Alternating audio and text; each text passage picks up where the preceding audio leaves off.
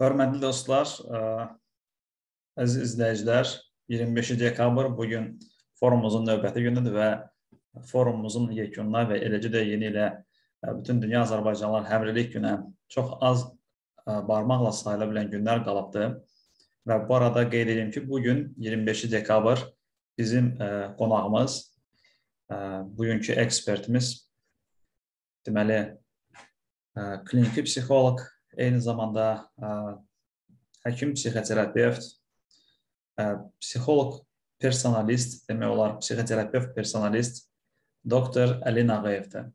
Əli bəy, ə, sizə idarəçiliyi artıq ə, vermişəm. Siz ə, mikrofonunuzu açıb ə, qonaqlarımızı bugün salamlaya bilərsiniz. Və qeyd edim ki, mövzu ə, bugün mövzumuz yox olmaq, ölüm və itirmək qorxusudur. Bu mövzuda Əli bəy sizə e, çox maraqlı bir seminar keçirdəcək. E, Əli bəy, söz verirəm sizə. Buyurun.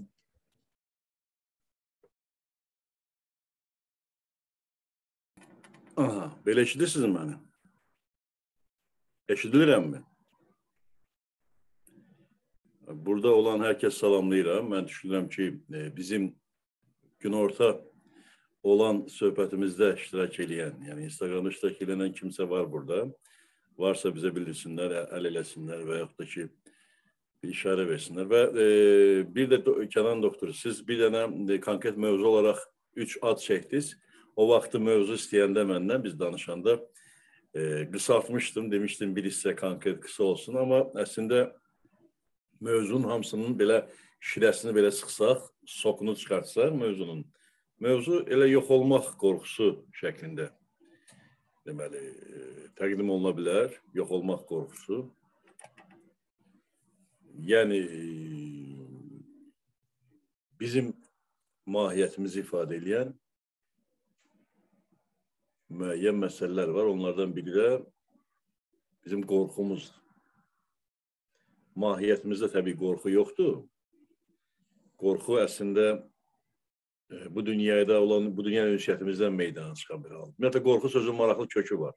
Kənan bəy, bu kökdən xəbəriniz varmı? Ümumiyyətlə, qorxu nə deməkdir? Türk dillə, məsələn, rusca strah sözü var, strah. Fikirləşsə, straxavaniye, strah, от слова страж, straji. Nə deməkdir? Qorumaq mənasında da.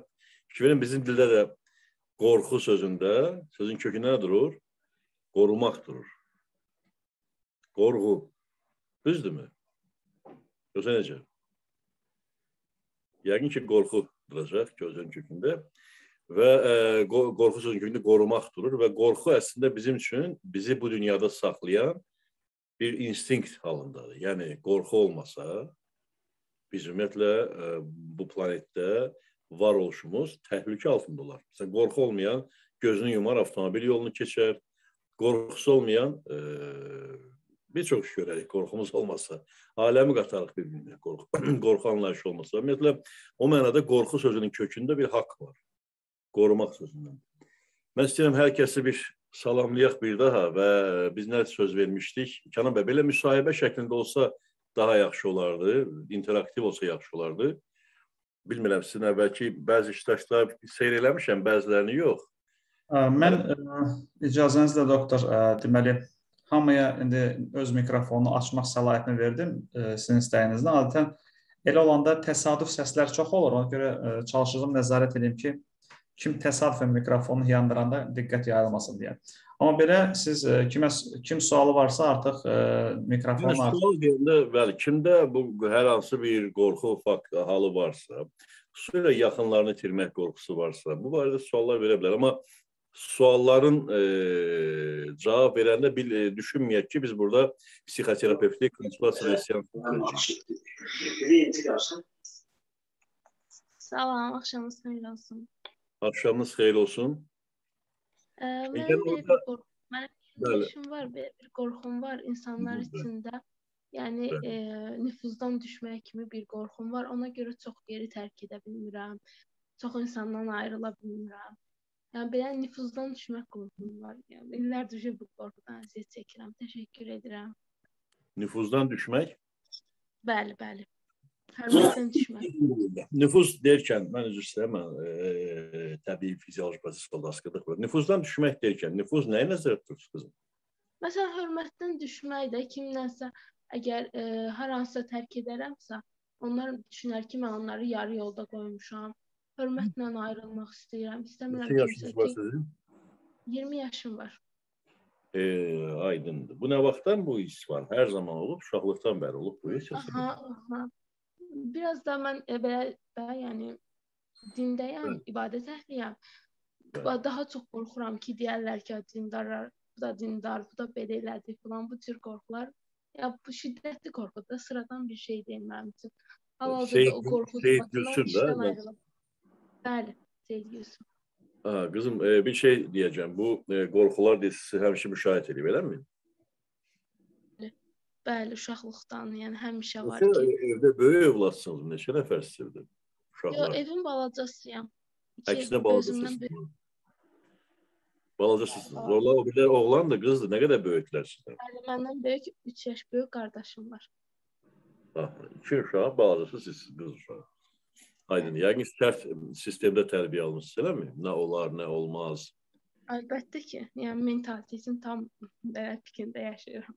Amma indi müəyyən qədər azadlığa sahib. O nüfuz sözünü istəyirəm, bir aydınlaşdırasınız. Nüfuz nə deməkdir qızım? Kimin gözündən düşməkdən narahat olursunuz daha çox? Məsələn, hal-hazırda mən bağçada işləyirəm Aha, ə, bəli. və qorxuram ki, oradan ayrılaram. Oradakılar düşünərlər ki, mən onları yarı yolda qoydum, çıxdım. Hörm nüfuz yəni mənim üçün hörmət də o söz sinonim kimi işlədirəm. Yəni deyərlər ki, mən onları yarı yolda qoydum və getdim, tərk elədim. Bu cür düşünərlər. Yarı yolda qo- qoy- qoydunuz. Niyə yarı yolda qoymuş olursunuz? Yəni bütün işlərini siz mi görürsünüz ki, yarı yolda qoyursunuz?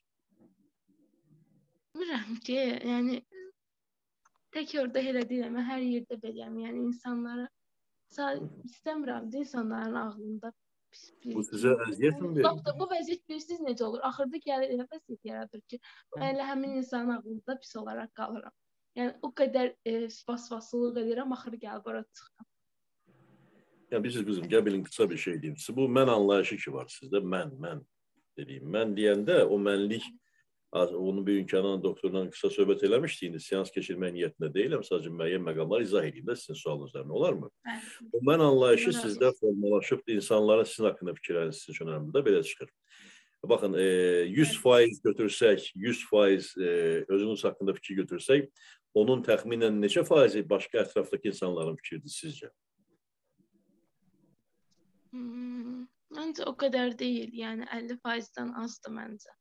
Yəni qalan 60% götürək. Sizin özünüzün özünüz haqqında fikriniz deyilmi? Bəli. Yəni, yəni mən mən olanda elədir. Çünki mən böyük biraz qərarlar vermişəm öz həyatımda.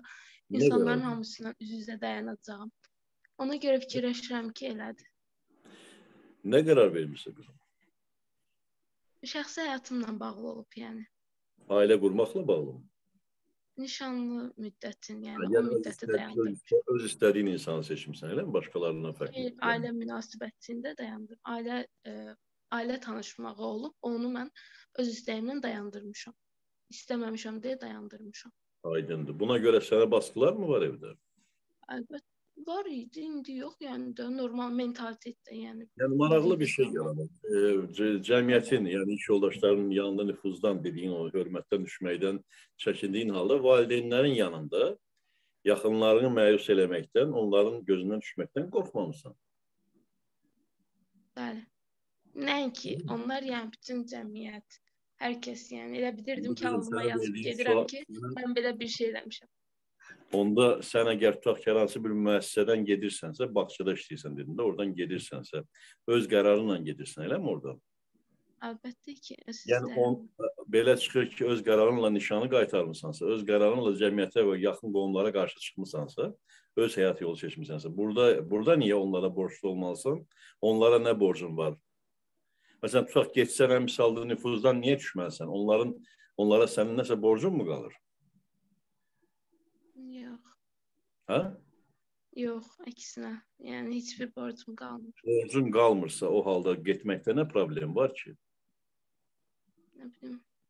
kiminsə əgər kiməsə borcun yoxdursa, mənim kiməsə 5 manat borcum yoxdursa, o adam deyə bilərmi ki, onun mənə 5 manat borcu var, o düzgün insan deyil, məni aldatdı. Deyə bilərmi, ixtiyarı varmı deməyə? Və ya deyərsə bunun mənə nəsə bir təsir olmalı. Bəzən olur da, bəzən deyirlər ki, yəni Kim deyir də, necə deyirlər, o maraqlı gəlir. Olur da, yəni buradakı Yəni insanlar sən deyir ki, istəsən 100 mən insanın getdiyim yerə qayıtm getdiyim yerə qayıdan bir tipəm ki, ona görə ki, elə bilirəm ki, qoyduğum adam çox pisdir, Məncə qoyduğum adam falan. Sənin mən, mən anlayışının düzgün formalaşması, formalaşmamağı problemi var. mən üzr istəyirəm bu. Askırmağıma görə. Məncə mən sənin özün haqqında fikirlərin tam formalaşmayıb. Bu indiki dövrdə istəklərini ayırd eləyirsən bəzən və ümumiyyətlə cəmiyyətdə hansı mövqelər oldu olmaq istəyirsən? Yəni çox gözə görünən bir yerdə olmaq istəyirsən? Arzun nədir sənin? Gözə görünməsəm də olar. Əsas odur keyfiyyətli və cəmiyyətə çox yararlı olum. Yəni görünməsəm belə ola bilər. Amma Cəmiyyətə yararlı cəmiyyət olmaq. üçün- hı, necə? Buyur, buyur. Yəni cəmiyyətə çox yararlı olmaq istəyirəm. Buna e, tutaq ki, hansısa bağçadan işdən getməyin cəmiyyətə yararlı olmamaq mı deməkdir? Daha yaxşı yerə getməyin, daha çox insana kömək deyil. Belə olan halda sən onlara borcun qalırmı? Yox, qalmır. Onda sən orada nüfuzdan düşə bilərsənmi? Yox. Belə olan halda deməli əsassız fikirlərdir. Ümumiyyətlə Sadəcə sənin lazımdır. tapdım, super. necə? Formulanı tapdım, açarı tapdım. Nədir açar? Nə tapdın açar? Yəni əgər e, cəmi məqsədimə gedən yolda e, yanlış etmirəmsə, kim nə düşünür, düşünsün də. Bəli, sadəcə belədir. Mən, mən vacib. Sən deyirsən ki, mən inanclı insanam və e, ümumiyyətlə inanc yox, daha çox mən istəyirəm sən əmin olan biri olasan və mümin birisənsə, əmin olan birisənsə, o halda məncə mərkəzə Allahı qoymalısan və Allahın e, sənin Bəli. haqqında nə Hədəfimiz düşündüyü Allah. önəmli olmalı. Elə deyilmi qızım, cəmiyyətin yox? Bəli. Bir dəfə Muhammedə peyğəmbərimizə soruşurlar ki, necə bilim ki, günah nədir, savab nədir də? Yəni əgər 100 adam yığılıb sənə deyirsə ki, sən düz eləmisən, amma sənin içində nəsə narahatsansa, o günah, o savab deyil, o nəsə yanlışdır. Və əgər 100 adam sənə deyirsə ki, sən səhv edirsən, amma sən amma sən özün e, daxilən rahatsansa, bu düzgün əməldir. Yəni daxili e, kateqoriyadan baxmalısan. Sən öz Allahınla, yəni Allahın kitabı ilə mi deyək, Allahın öyrətdikləri ilə mi deyək, düzgün davran. Məsələn, 10 nəfərə kömək edirsən, bir bir yerdə 100 nəfərə kömək eləmə imkanı var. Və amma 10 nəfərə köməyi buraxıb 100 nəfərin yanına getməlisən. Getməzsən 100 nəfərə kömək edəcəyin halda 10 Əlbəttə ki. nəfərə kömək edib qalmaq nə doğru mu olar? Əgər Allah razı olduğu halda, yəni. Vəssalam. Cavab qane edirsə qızım gəl sağollaşaq. Digər sual vermək istəyənlər də var. olun. Digər e, qoşulanların haqqına girdim. Siz üzr Çox yox. uzun oldu. Adətən belə uzun sual verən deyirəm. Çox Burada- təşəkkür edirəm hər kəsə. Çox sağ ol. Burada Zöhrə xanım sual verir ki, daxilimiz yanıla bilməzmi? E, Daxilimiz yanıla bilər o vaxt ki, bizim daxilimizdə əmin olduğumuz, e, yəni həqiqətlər yoxdur. Əgər bir əminlik varsa daxilimizdə müəyyən həqiqətlərdən o halda yanılmaz. Daxili deyəndə burada bizim düşüncə tərzimiz təbii nəzərdə tutulur. Müəyyən super ego və ona münasibətimiz nəzərdə tutulur. Biraz geniş söhbətin mövzusudur. Amma mən konkret bir faktla, konkret bir bizim tamaşaçı ilə, izləyici ilə danışdım.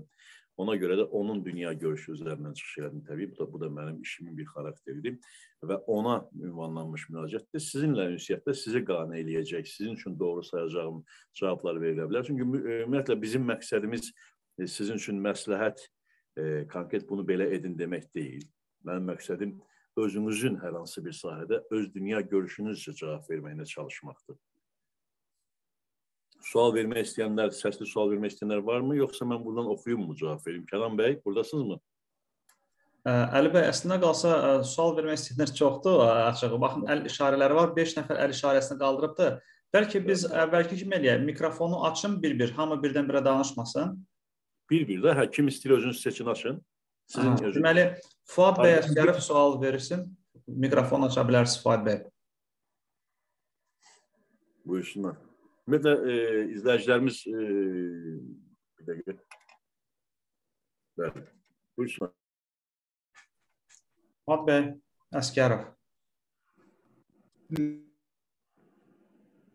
Buyurun mikrofonunuzu açın.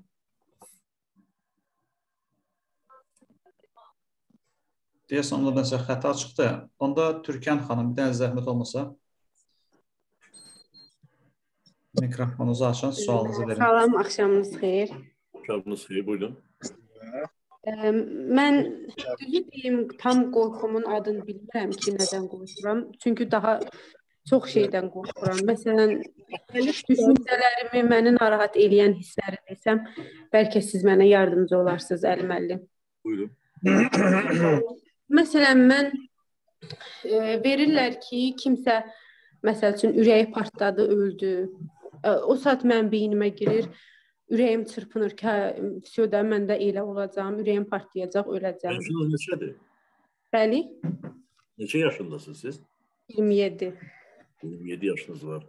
Ürək partlayıb ölmək konkret bu dəqiqə elə bir qorxunuz varmı hazırda? Bəli. Ürək partlamaq nədir sizcə? E, bilmirəm. Düzü, məsələn, araş araşdırma belə etmişəm ki, soruşmuşam ətrafımdakı insanlardan da, məndə belə olur, belə olur. Deyirlər ki, məsələn, məndə də olur. Sadəcə ürəyi adamın xəstə olmayanda ürəyi partlamır. Məsələn, fikirləşirəm ki, nənəmə nəsə olsa, mənə nəsə olar görəsən. Bu qorxu var. Ürək partlamaq sizin fikrincə nədir? Ürəyim e, dayanar, ölərəm də. Yəni bilmirəm. Yəni o qorxu nədir bilmirəm məndə gəlib. Baxın, ürək partlamaq sizin fikrincə nədir təsəvvürünüzdə? Çünki tibb elmində ürək partlamaq yoxdur. Ürək damarı. O deyirlər deyirlər ki, ürək damarı gəlir, dayanır, ü- ürək dayanır, insan ölür. belə bir söz Qəfləti- Qəfləti koronar ölüm deyirsiniz də onda yəqin. Bəli, bəli. Qəfləti koronar ölüm ümumiyyətlə sizin yaşda olmayacaq.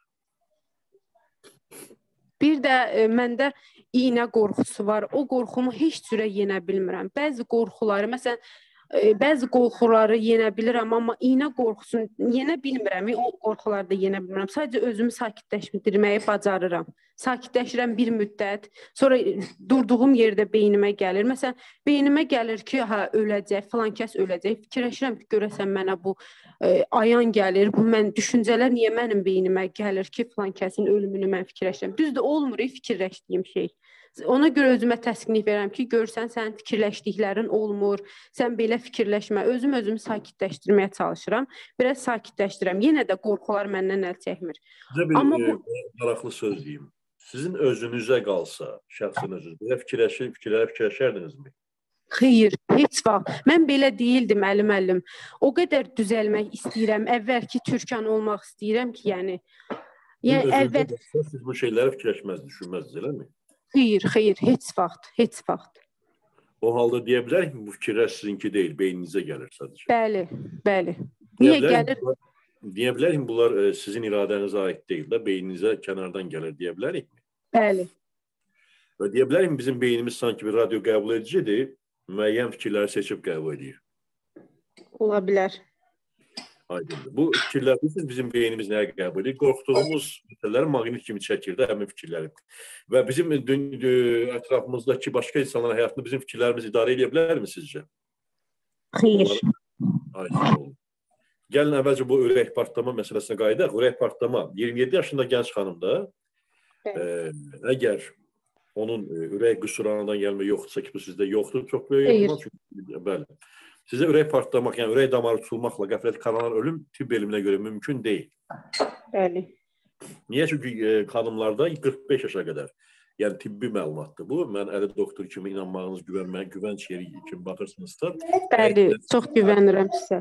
radioloqlardan bunu soruşa bilərsiniz ki, 27 yaşında qadında ürək damarı tutulub ölə bilməz, mümkün deyil. Çünki e, 45 yaşa qədər qadınların qadın hormonları onların damarlar tutulma problemindən qoruyur.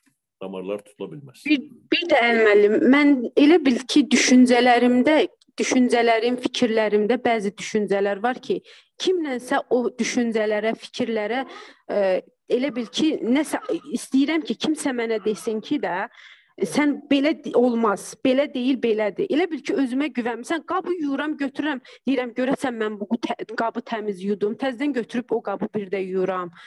O, o düşün elə bir kimlənsə təsdiq istəyirəm ki, kimsə mən desin ki, yox ay Türkçəm, bu belə deyil, belədir. Sən səhv fikirləşirsən. Onda özüm özümə, məsələn, bacıma soruşuram, bacım mənə deyir ki, yox bacı, belə deyil, belədir. Onda deyirəm, hə, belə deyilsə əgər deməli, yəni, ola bilər. Hamıya vaxt çatdırmaq üçün probleminizi deyim sizə birbaşa, sual-cavabsız ötə. Yəni sizin probleminiz təşviş vəziyyətidir. Təşviş isə çox vaxt hər hansı bir e, travma, psixi travmadan sonra yaranır. O travmada mütləq ölüm hekayəsi olur ya yaxınlarımın itkisi, ya nəsə bir ə, belə bir hadisə olur. Nə vaxtdan başlayıb sizin bu hallarınız? Mən bu hallarımız elə bil ki, bir il, il yarım olar, amma hərdən təsadüfən bir ildən bir, iki ildən bir, üç ildən bir gəlirdi. Amma son bu iki ay, üç aydır tez-tez olur. Niyəsini bilmirəm. Yəni araşdırsaq mütləq səbəblər tapılacaq. Yəni həyəcan bilirsiniz nədir? Həyəcanla qorxunun fərqi bilirsiniz nədir? Yəni həyəcan odur ki, mən qorxumun səbəbini bilmirəm. Qorxu isə konkret falan şeydən qorxuram deməkdir. Yəni. Fərqi başa düşürsünüzmü? Sizdə həm həyəcan tərəfi var, həm konkret ölüm qorxusu var.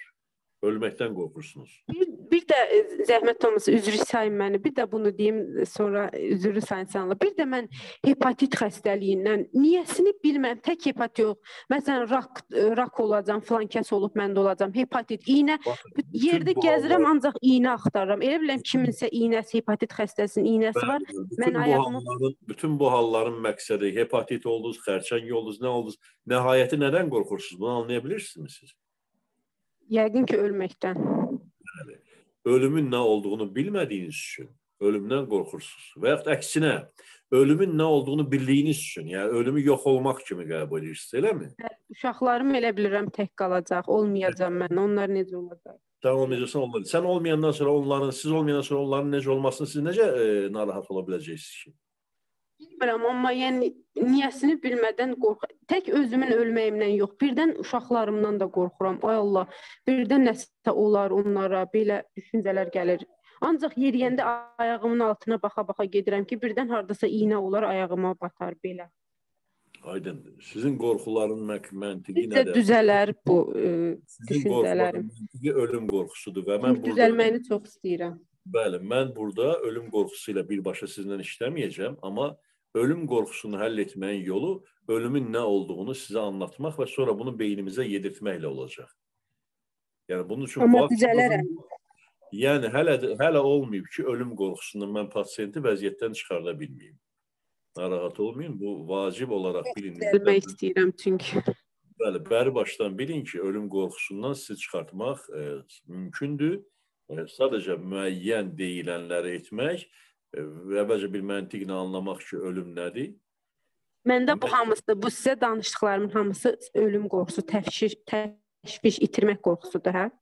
Bəli də, yəni ki, hamısı birdir. Yəni ölümə olan münasibətdir. Kimsə öləcək, mən öləcəm. Bəli, bəli.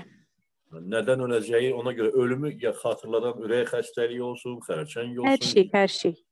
Hepatit olsun, bunlar öz yerində. İşte gəldə övladınızı itirmək qorxusu və s. Bunlar hamısı müxtəlif psixoloji travma, psixi travmalardan daha dəqiq desək meydana çıxır və həyatımız boyu sizi bu vəziyyətdə saxlayır. Ona görə də o fikirlər ki var, nə vaxt başlayıb onu araşdırıb tapacağıq e, və məntiqlə görəcəksiniz ki, yəni bizim o seanslar bizdə olacaqsınızsa, məntiqlə görəcəksiniz ki, inşallah. Məntiqlə görəcəksiniz ki, burada qorxuya heç bir əsas yoxdur, mənasız qorxulardır bəri başdan deyim ki, mənə güvənirsinizsə mənasız qorxulardır. O qorxularını da yığışdırandan sonra ümumiyyətlə ölümün özünə olan münasibəti ayrıca dəyişmək üçün sizin özünüz haqqında fikirləri dəyişdirəcəyik. Yəni sən özün haqqında e, sadəcə bir e, bir insan kimi yox, biraz daha geniş ruhi, əbədi ruhi varlıq kimi düşünməyi öyrənəcəksən anam bacım və bundan sonra tədricən e, belə anlayacaqsınız ki, e, ölüm əslində sizin düşündüyünüz bir qorxulu bir şey deyil. Bəli. Və amma həm də eyni zamanda da bu dəqiqə ölməyə sizdə bir ciddi səbəb yoxdur 27 yaşınızda. Bunlar ilkin olaraq sakitləşdirəcək. Ondan sonra beyninizə bu bildiklərinizi məşq edərək yeridəcəksiniz, başlayacaqsınız rahatlamağa. Bu proses 3 həftədən 3 aya qədər çəkə bilər. Bəri başdan deyim. Düzəlim, bircə düzəlim, çox düzəlmək istəyirəm. Amma mən dərk eləyirəm, özümün düşüncələrimin boş düşüncələr olduğunu dərk eləyirəm. Bilirəm boşdur. Sadəcə özüm özümü Bunlar ə... sizin düşüncələr deyil. Sənin özünə, öz məninə aid sizin öz daxili mənninizə aid düşüncələr deyil. Bunlar beynimizin radio qəbul edicini düzgün ayarlamamağımızın nəticəsində. Elə bilin ki, məsələn, bir e, radionun 106.3-ə, 107-yə, 100 hansı dalğa e, qoşanda həmin dalğanı tutar. Düzdürmü onun bacım? Bəli, bəli. Eləcə də siz həmin dalğaya, e, düzgün dalğaya köklənəcəksiniz.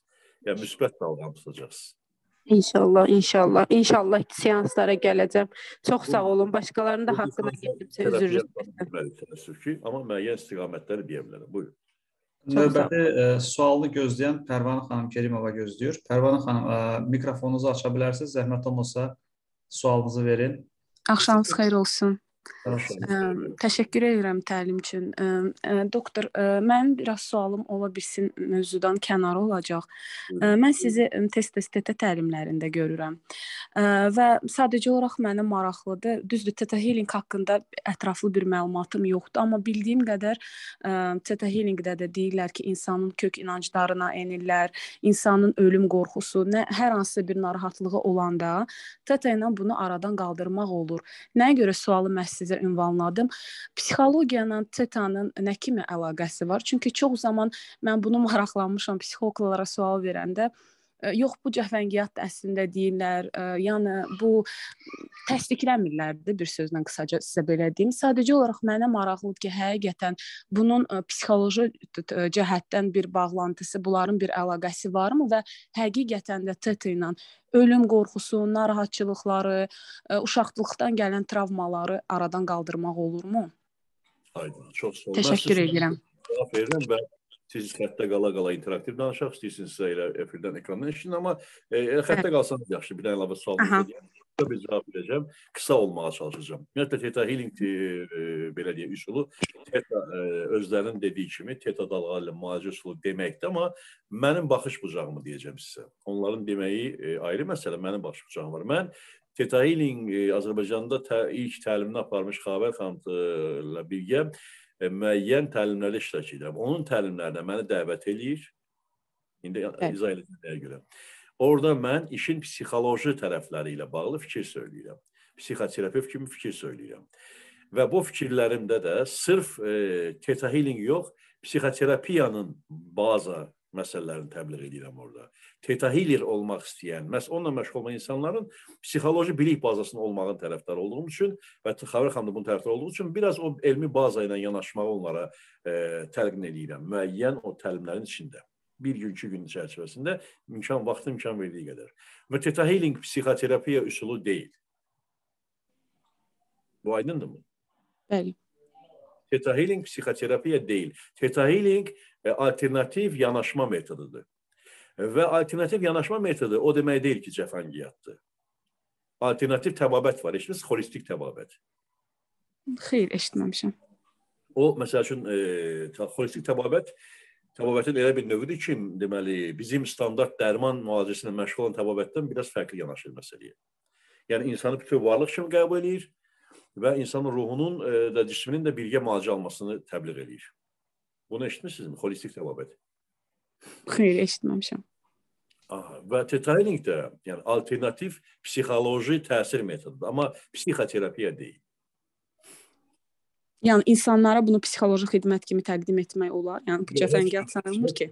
Yox, heç bir özünə hörmət edən tetahidir, o teta ilə məşğul olan mütəxəssis e, demir və e, deməz ki, mən psixol psixoloqam və ya psixoterapevtəm.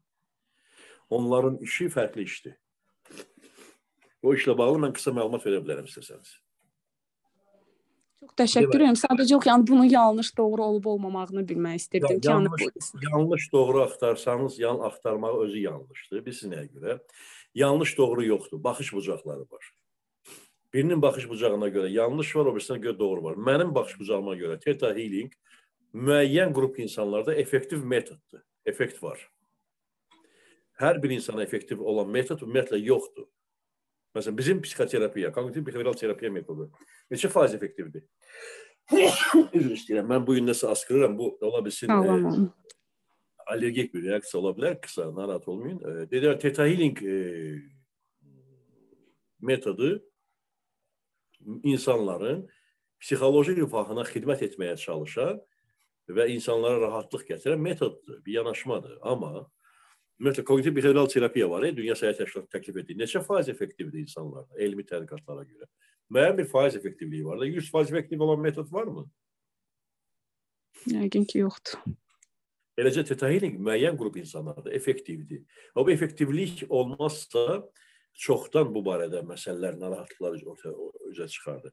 Mənim üçün e, deməli effektiv olmayan metod anlayışı yoxdur. Hər bir halda məsələn falçıların effektivliyi varmı? Kimlər üçünsə bəli. Kimlər inanır. Bəli. Demək ki, gəlin belə bölməyək də yanlış və doğru. Gəlin belə bölək. Yanaşma bucağı var. Hər kəsin. Məsələn, mən Theta Healer yox, psixoterapevtəm, amma Theta Healingin 4 dərəcəsinin də treninqlərindən keçmişəm. Ümumiyyətlə tək Theta Healing yox, mən bir çox e, məktəblərin, dini, ruhi, psixoloji məktəblərin e, treninqlərini keçməyə çalışmışam. Və son günlərimə qədər də öz üzərimdə təlim keçməyə həvəsim var. Müxtəlif sahələri yoxlamaq, məlumatlı olmaq həvəsindəyəm. Amma pasientlərə tətbiq edəndə sırf psixoterapiya metodları və özümün də bir yol olaraq e, yaratdığım, ortaya qoyduğum e, deməli transpersonal psixoterapiya məktəbinə aid etdiyim kognitiv behavioral məktəbi də istifadə edən bir metod var, ruhi psixologiya xətti var. Bu mənim öz metodum. Amma mən psixoterapevtəm. Theta healingi savadlı şəkildə e, real olaraq e, inanc sistemi üzərindən tətbiq edən hər kəsə böyük hörmətim var və tetahillər də özlərinə psixoloq demirlər, əsl tetahillər. Onlar insanlara yardım edirlər. Bu yardımları mən real nəticələrini görmüşəm, amma hər tetahiller də o effektivliyə malik deyil təbii ki. Sağ olun doktor. Çox təşəkkür edirəm sizə. Sağ olun. Psixoterapiya yardımı deyil, amma yardım metodudur. Məsələn, biz bir şey misal deyim də sizə. E, bir nəfər olar ki, əlində sığal çəkər balasının başına, ana bu balasına başda çəkdiyi sığal yüzlərcə elm məktəbi görmüş psixoloqun təsirindən çox təsirli o anasının sığalı. Doktor, mən sizlə eyni fikirdəyəm. Bəli, sadəcə olaraq baxın, çox vaxt deyirlər ki, bunun elmi bir açıqlaması yoxdursa, ə, üzr istəyirəm vaxtınızı da alıram. Yəni bu qəbul olunmur. Ə, hərə özündən bir şey uydurub bilirsiniz də belə çox vaxt deyirlər ki, bunun elmi bir açıqlaması yoxdursa, ə, onda bunun heç bir yəni də təsdiqi yoxdur. Mən də başa düşürəm bunların hamısını. Sadəcə olaraq mən sizə ünvanladım sualı və təşəkkür edirəm. Dolğun cavab ala bildim sizdən. El şəxsən tanıyıram bir yerdə bir ofisdə məsələn yanaşı demək olar ki, çalışırıq. Tetahillerlər özdə əsl tetahilliyə məşğul mütəxəssis mən psixoloqam demir. Və Xavər xanım da bu sözü demir. Onun yaxın tələbələri də bu sözü demirlər. E, mən də ona görə onlara hörmətimi saxlayıram. Və mənim hörmətim hardan qaynaqlanır? Bunu mən onların da yanında demişəm. E, Tetahillilərin böyük e, çıxışları, konfranslarında, ünsiyyətlərimizdə də həmişə vurğulayıram ki, niyə mən Tetahilingə pozitiv baxıram bilirsinizmi? Allaha müraciət öyrədir. Düzdür, bunu elmi əsaslarla vermir. Düzdür, bu inanc sistemi üzərindən çalışmaqdır. Amma gəlin görək transpersonal psixoterapevtlər də elə inanc üzərindən çalışırlar. E, inanc, yəni Allaha olan, inancı olan insana tetahiling daha yaxşı təsir edə bilər. Yəni müəyyən insanlara təsiri, effektivliyi var. Mən bunu əyani şahidiyəm. Amma psixoterapiya metodudurmu? Psixoterapevtin əlində bir silah ola bilər. Bax bunu bu cür gör. Elə bir psixoterapevtin əlində çoxlu silahlar, alətlər olmalıdır. Qoy biri də theta healing olsun və bu theta healing haqqında məlumat olsun. Mən belə düşünürəm. Çox sağ olun. Növbəti suallar varsa buyurun. E, Kənan bəy. Kənan bəy buyurun. Bəy, e, növbəti sual Aytaç xanımın sualıdır. Onda dəqiq zəhmət olmasa, amma belə e, görək nə tərsə bir sistem yaradaq ki, ə, ondan çox suallar var, əl qaldırmışsınız. Reglament. Reglament qoyaq. Aytaş xanım buyurun sualınızı verin. Gəlin belə. Axşamınız xeyir olsun. Kənan bəy, Əli müəllim. Bəli. Aleyküm salam. Mən sizə sualım belə olacaqdı ki, mən böyüdükcə, yaş üstünə yaş gəldikcə mən sanki həyatda itirəm, özüm də bilmədən. İnsanlar arasına qatıldıqca, kollektivlər gördükcə, yəni elə bilin ki, ə, reallıqlar eyni deyil. Pərdə önündə tamam başqa cür görünür, pərdə arxasında tamam başqa cür. Xoşbəxt insan məsələn kədərli görünür, baxırsız dərdi var, amma kədərli insan xoşbəxt görünür. Ya bu kimi şeylər də artıq mənə çatmır. Təzyiq göstərirəm özümdən asılı olmadan. Yəni nə edir? Biraz eləsəz qısa şəkildə. Ya kim ki üzü kədərli içində sevinir, yəni, istəyirsən Siz konkret kiməsə danışırsınız əslində. Kimsə sizi qıcıqlandırır. Həyatda yəni, həyatda yəni böyüdükcə belə şeylər gördükcə itirəm. Hə, insanların ikiyüzlülüyü mənasında mı deyirsiniz? İkiyüzlülüyü mü deyim, bilmirəm. Necə deyim? Özlərini tamam başqa cür göstərmələri mi deyim? Aydındır. Yəni başqa cür deyəndə siz insanların pis tərəfini görürsüz, niyə özlərini yaxşı göstərirsiniz? Elə mi deyirsiniz? Yoxsa necə? Nə məsəl üçün həm elə, həm də məsələn, kədərli insan xoşbəxt görünür, xoşbəxt insan kədərli görünür. Kədərli insan xoşbəxt görünürsə, o insana quzu kəsin. o kədərini ətrafa yaymamağa çalışır. Amma kaş ki kədərini e, deməli, kaş ki kədərliyim də deyək də təmizləyə bilsəydi, bu ayrı mövzudur. O ki qaldı sevincli insanın kədərli mısmırıq sifət sallaması, bunu doğru saymıram. Bu da ayrı məsələdir. E, və üstə gəldi ki, o ki qaldı ikiyüzlülük məsələsində. Ümumiyyətlə insanlar qat-qatdılar. Rol içində roldular. Mən anlaya bilirsin. İnsan ailəsi üçün bir sifət deməz, cəmiyyət üçün başqa sifətdədir, şəxsiyyətində bir baş. Bu da təbiidir. Bu başqa cür də ola bilməz. İnsan psixososial varlıqdır. Sosiumda, cəmiyyətdə qat-qat onun ünsiyyət dərəcələri var. Bir e, komandir fikirləşin, general və prezident, bir ölkə başçısı fikirləşin. Evində olunduğunla bir gen e, döyüş generalı ilə ünsiyyəti eyni mi olmalıdır? Xeyr, təbii ki. Ona görə Yapon samuraylarının bir sözü var. Deyir kişinin və əslində insanın 8 sifəti olmalıdır, 2 ürəyi. 8 Yaponlarda, Çinlərdə çox deməkdir. Ən çox 8 sevilir olar. 8 çoxluq mənasında. Məsələn, ərəblərdə 7 çoxluq mənasındadır. 8 məsələn, onlar çox deməkdir. Yəni çoxlu sifət olmalıdır insan. Çünki insan hər situasiyada bir sifətli ola bilər. Amma iki ürək niyə deyirlər? Bir ürək ancaq özünə, o bir ürək digər insanlara. Ona görə insan qat-qat olan bir varlıqdır. Bizim də ruhi psixologiya e, xəttimiz də laf dərində gizlənmiş o mən var, gizlin o kiçik mən. Bəli. Əsl mən bədənimizdən, beynimizdən əsl mən ki var, kiçik görünsə də böyük mənalı o məni üzə çıxartmaqdır. Onda biz hər bir qatın analizini apara bilirik. Məsələn, anlaya bilirik ki, mən bu situasiyada niyə belə davrandım və bu situasiyada niyə belə davrandım. Bu insan bu situasiyada bu rolu niyə oynadı və hansı motivasiya ilə, hansı məntiqlə bu rolu oynadı. Bunları anladıqca bu e, ətrafı dünya yaxşı başa düşəcəyik. Sualınız var mı? Buyurun.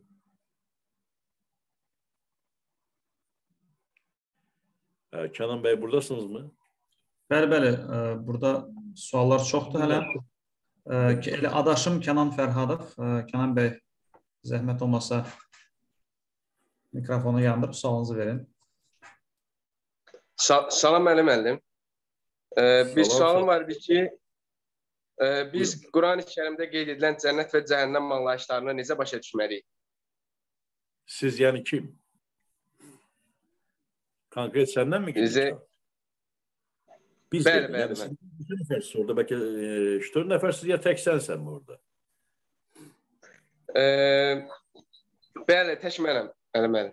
Təbii maraqlıdır, aydındır. Sən istəyirsən cənnət cəhənnəmin nə olduğunu özün üçün aydınlaşdırasan, elə mi? Bəli, bəli, Əli müəllim. Yəni o e, sən Quranın yazdığına inancla yanaşmaq istəmirsən də təfəkkürlə yanaşmaq istəyirsən, eləmi? Bəli, Əli müəllim, bəli. Bu münasibətlə səni təbrik edirəm. Bəli, düşüncəli yanaşma hamısından doğrudur. Oldu, minnətdaram sualına görə. İstəyirsən elə hələ xəttə mi qalırsa bilmirəm, Kənan bəy qərar versin. Mən cavab fikrimi deyəcəm. Ümumiyyətlə cənnət və cəhənnəm anlayışı bütün dinlərdə anlayışdır. Dini aspektdən baxanda, yəni dindar inanclı şəxslər üçün bu bir hətta onların özləri üçün bir neçə aspektdə bölünür. Mənim baxış bucağım necədir? Mən ruhi bilik tərəfdə olan adamam. Mənim fikrimdə, fikrimcə ruhi əzəli dünyada cəhənnəm yoxdur, amma maddi dünyalarda, yəni bədənsəl dünyalarda cəhənnəm e, planetar sistemlər var. Yəqin ki, məsələn, götürək, nə hansı misaldan kobud götürə bilərəm? Bu kobud misal da, bu sübut deyil. Məsələn, tutaq ki, Azərbaycan, İsveçrə və Angola üç ölkənin şəraitini müzakirə müqayisə edirik. Məsələn, e, nisbətə görə nisb götürsək, harda şərait daha yaxşı ola bilər? İsveçrə şərait üstün götürülür bu gün. Sağlıq olsun, gün o gün olacaq ki, bu inkişafla biz də İsveçrə səviyyəsinə qalxacağıq, bu ayrı məsələdir. Amma məsələn Angola ilə Azərbaycan müqayisə oluna bilməz də. Azərbaycan tutaq ki, şərait olaraq, iqlim olaraq, münasibətlər olaraq, e, demokratiya olaraq Angoladan üstün sayılmalıdır. Tutaq ki, misal üçün dedim Angola, olmasın Angola, hər hansı bir geri qalmış Afrika ölkəsini götürək. Deməli nisbətə görə planetar sistemlərdə həyat şəraitləri yəqin fərqlidir və yəqin ki, cəhənnəm e, həyat e, səviyyəsi olan, əzabkeş həyat səviyyəsi olan, şəraiti pis olan planetlər də var. Onlar cəhənnəm planetləridir və tutaq ki, insan ruh ə, əbədi olduğu halda reinkarnasiya halında gedib o layiq olduğu halda gedib əzab əzabkeş planetdə əzab çəkə bilər və əzab verilə bilər ona. Bu dünyanın özündə də nə qədər e, insanlara, kütlələrə aclıq əzabı, müharibə əzabı uğrayırlar. Görürsən? Yəni cəhənnəm anlayışı nisbi anlayışdır və maddi dünyaya aiddir məncə. Maddi dünya dərəcələri var onun. Məsələn, yer planeti nə cəhənnəm deyil, nə cənnət deyil. Orta planetar sistemə aiddir. Yerdən aşağı səviyyələr cəhənnəmə doğru gedir, yerdən yuxarı səviyyələr cənnət planetlərə doğru gedir. Bir də ruhi dünya var. Ruhi dünya öz mənlərimizin əsl dünyasıdır. Bu görünən oyundan çıxdığımız dünyadır. Orada əbədi həz, əbədi bilik içində həmişə kefdəyik. Belə, belə yanaşa bilərik. Mən bilmirəm, fikrimi çatdırabilir mi? Bu özəl və geniş bir söhbətin mövzusudur əslində. Başqa sual olan var mı? Kənan bəy buradasınız? Var, var, var. Təbii buradayam. Aysel xanım Baş Başalizadə Başalizadə Aysel xanım buyurun zəhmət olmasa. Ə, buyurun. Salam, səsim gəlir? Bəli, bəli, buyurun. Ə, mənim qorxum bəlkə çox adama tanış olacaq. Valideynlərimi itirməkdən qorxuram. Ən böyük qorxum hal-hazırda odur. Qızım valideynlər. Necə? Neçə yaşları var valideynlər? Ə, valideynlərimin birinin 55, digərinin 53 yaşı var, amma anam ə, ağır şəkər xəstəsidir. Yəni vəziyyəti o qədər yaxşı deyil. Ona görə biraz onun üçün daha çox qorxuram. Yəni ağır şəkər xəstəsi deyilkən ürəkdə ağırlaşmalar, infarkt problemi yaşayır. Ə, ürəyində ə, problemlər yaranır, yaranırdı. Yəni hal-hazırda yaranır. Necə? Tutaq ki, anan uzaq olsun, dünyasını dəyişdi. Aha. Nə qədər ağır olsa da mən incimə bu sualı verəcəm qızım sənə. Aha. O halda ən pis halda nə olacaq? Nə baş verəcək? Yəni mən ən çox ə, yəni bir yerdə olmamağımızdan qorxuram. Yəni və bir daha onu görməməkdən. Bu baş verəcək axı, düzdürmü əvvəl axır? Bilirəm, yəni amma dediyim kimi, məsələn mən də istəyirəm ki, ə, qocalmağı, yəni bütün valideynlərə, nə, qocalmaq bütün valideynlərə nəsib olsun. Yəni mənim atam 42 yaşında bu dünyasını dəyişdi. Allah rəhmət eləsin. Bir il ərzində 13 yaşım var idi. Bir il ərzində əzab çəkdim. Hı -hı. Bir ildən sonra əzabım getdikcə azalmağa başladı və dünya həyatına qayıtmalı oldum. O, amma doğmalıq hissi onun mənə bəxş etdiyi, içimdə yaranan doğmalıq hissini bugünə qədər də saxlamışam təbii və yadıma düşəndə kövrəlmək haqqım da var. Amma mən ölümün nə olduğunu sonralar araşdırdım, anladım və çox da rahatladım. İndi istəyirəm, istəyirəm sənin də bu barədə bir biliyin olsun. Tutaq ki, anan sabah dünyasını dəyişsə, təsəvvür elə, halda nə olacaq? Yəni ən pis halda mən çox üzüləcəm ki, mən onsuz da o çox əziyyətlər çəkib, yəni bir daha ə, çox əziyyətlər çəkib. Mən istəyərdim ki, o artıq xoşbəxt bir insan olsun da. Yəni ə, mən onu xoşbəxt etmək istəyərdim, yəni. Tutaq ki, bu bədən ki var, o bədəni köhnəli, bu ruh bədəndən bir gün çıxacaq. Aha. Ha, bu dünyadakı əzabı qutaracaq. Rahatlıq dünyasına qovuşacaq. Bu öz yerində. Sənin əzabın, sənin o doğmalı doğma adamı itirdi, itirən çəkdiyin əzab nə qədər çəkəcək qızım?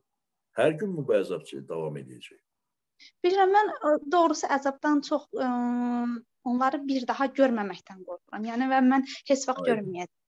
Bilirsiniz, ondan qorxuram. Görməyəcəksən, mən sənə söz verirəm ki, qızım burada heç bir siyansız zatsız o səni də onların da sahibi var təbii, bir proqramist var, onların da sahibi var. Sən onunla ünsiyyətə girə biləcəyin halda o proqramist, o proqram oyununda valideyn obrazını sənə ruhları ki göstərib, ha, onlarla ünsiyyətini yenidən təmin edəcək. Yəni bəzən ondan qorxuram. Çünki yəni heç kəs o dünyaya gedib görməyib də, yəni belə bir şey də. Bunun üçün də gərək gələsən ruhi psixologiyanı öyrənəsən qızım.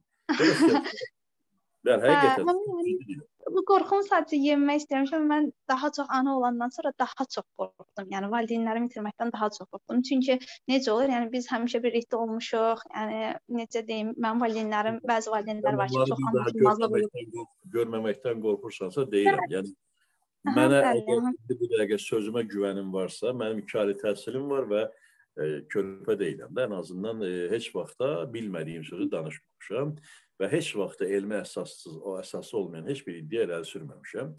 Mən məntiqi, elmi məntiqi əsaslarla bilirəm ki, sən ürəkdən arzulayacağın halda və proqramistlə, ali deməli proqramistlə, ali zatla düzgün ünsiyyət qura biləcəyin halda o ruhlarla yenidən təmas və ünsiyyət imkanı olacaq. Bunu sənə söz verirəm bu şərtlər daxilində. Ah, yəni, yəni onda qorxmamalıyam elə. Bu birinci. Amma bunu daha dəqiq bilmək üçün təbii özəl olaraq bunun üçün burada bir saatla vaxt sərf edə bilmərik.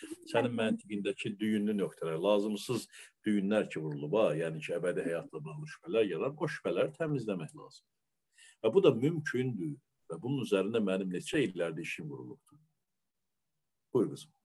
Oldu. Çox sağ olun. Təşəkkür edirəm yəni. Bunların biraz azaldısa mən xoşbəxt olaram, özüm yaxşı. Biraz yəni belə adam ə, qəribə qalır da istər-istəməz düşünəndə mən çox pis olaram. Mən, mən yəni mənim üçün düşündüm. O nöqtəni o nöqtəni düzəltmək üçün dediyim kimi ruhi psixologiya vacibdir. Ah, çox sağ olun. Təşəkkür edirəm. O dediyin nöqtəni heç vaxt görüşməyəcəksən, bu nöqtəni ruhi psixologiyadan başqa heç nə ilə düzəltmək olmayacaq. Hə. Aha, çox sağ olun. Yəni ona ona maraqlanıram. Sən bunu heç maraqlanmamışdım. Normalda belə şeylərə maraqlanan biriyəm, amma ilk dəfədir ki, ruhi psixologiya eşidirəm. İnşallah bu gündən başlayacağam maraqlanmağa. E, hələlik ki, ancaq mənim tərəfimdən təbliğ və tədris olunur. Sonralar müəyyən mərhələdə yəqin ki, bu işlə məşğul olan yetirmələr olacaq, insanlar olacaq. Ha, inşallah onda mən daha dərinə araşdıraram sizi. Çox sağ olun, təşəkkürlər. Sizin olsun, əlbəttə qulumuzda. Növbəti suallar varsa, Növbəti Həsən Fərhadov, Həsən bəy ə, Fərhadov, zəhmət olmasa ə, kamera ə, mikrofonunuzu açardınız. Bəli. Bəli, salam. Hər kəsi salamlayıram. Salam Əli doktor. Aleyküm salam Həsən bəy, eləmi? Bəli, bəli. E, mənim sizə bir sualım var idi. Səhərki canlıya da baxırdım mən.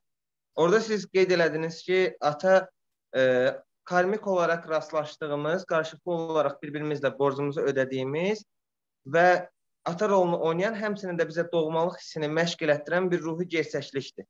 Mən onu maraqlamaq istəyirdim ki, e, anamız üstündə bu keçərlidirmi, yoxsa az da olsa fərq varmı? Heç bir fərq yoxdur. Çox dəqiq ifadə elədin. Ana da, ata da rollar oynayan ruhlardır və sənin onlara verdiyin vaxt ilə dəyər onlar sənə qaytarır və e, doğmalıq tərbiyə edirlər ki, ali doğmalıq sahibi ilə görüşlərə hazır olasan. Bəli, çox sağ olun. Təşəkkür edirəm.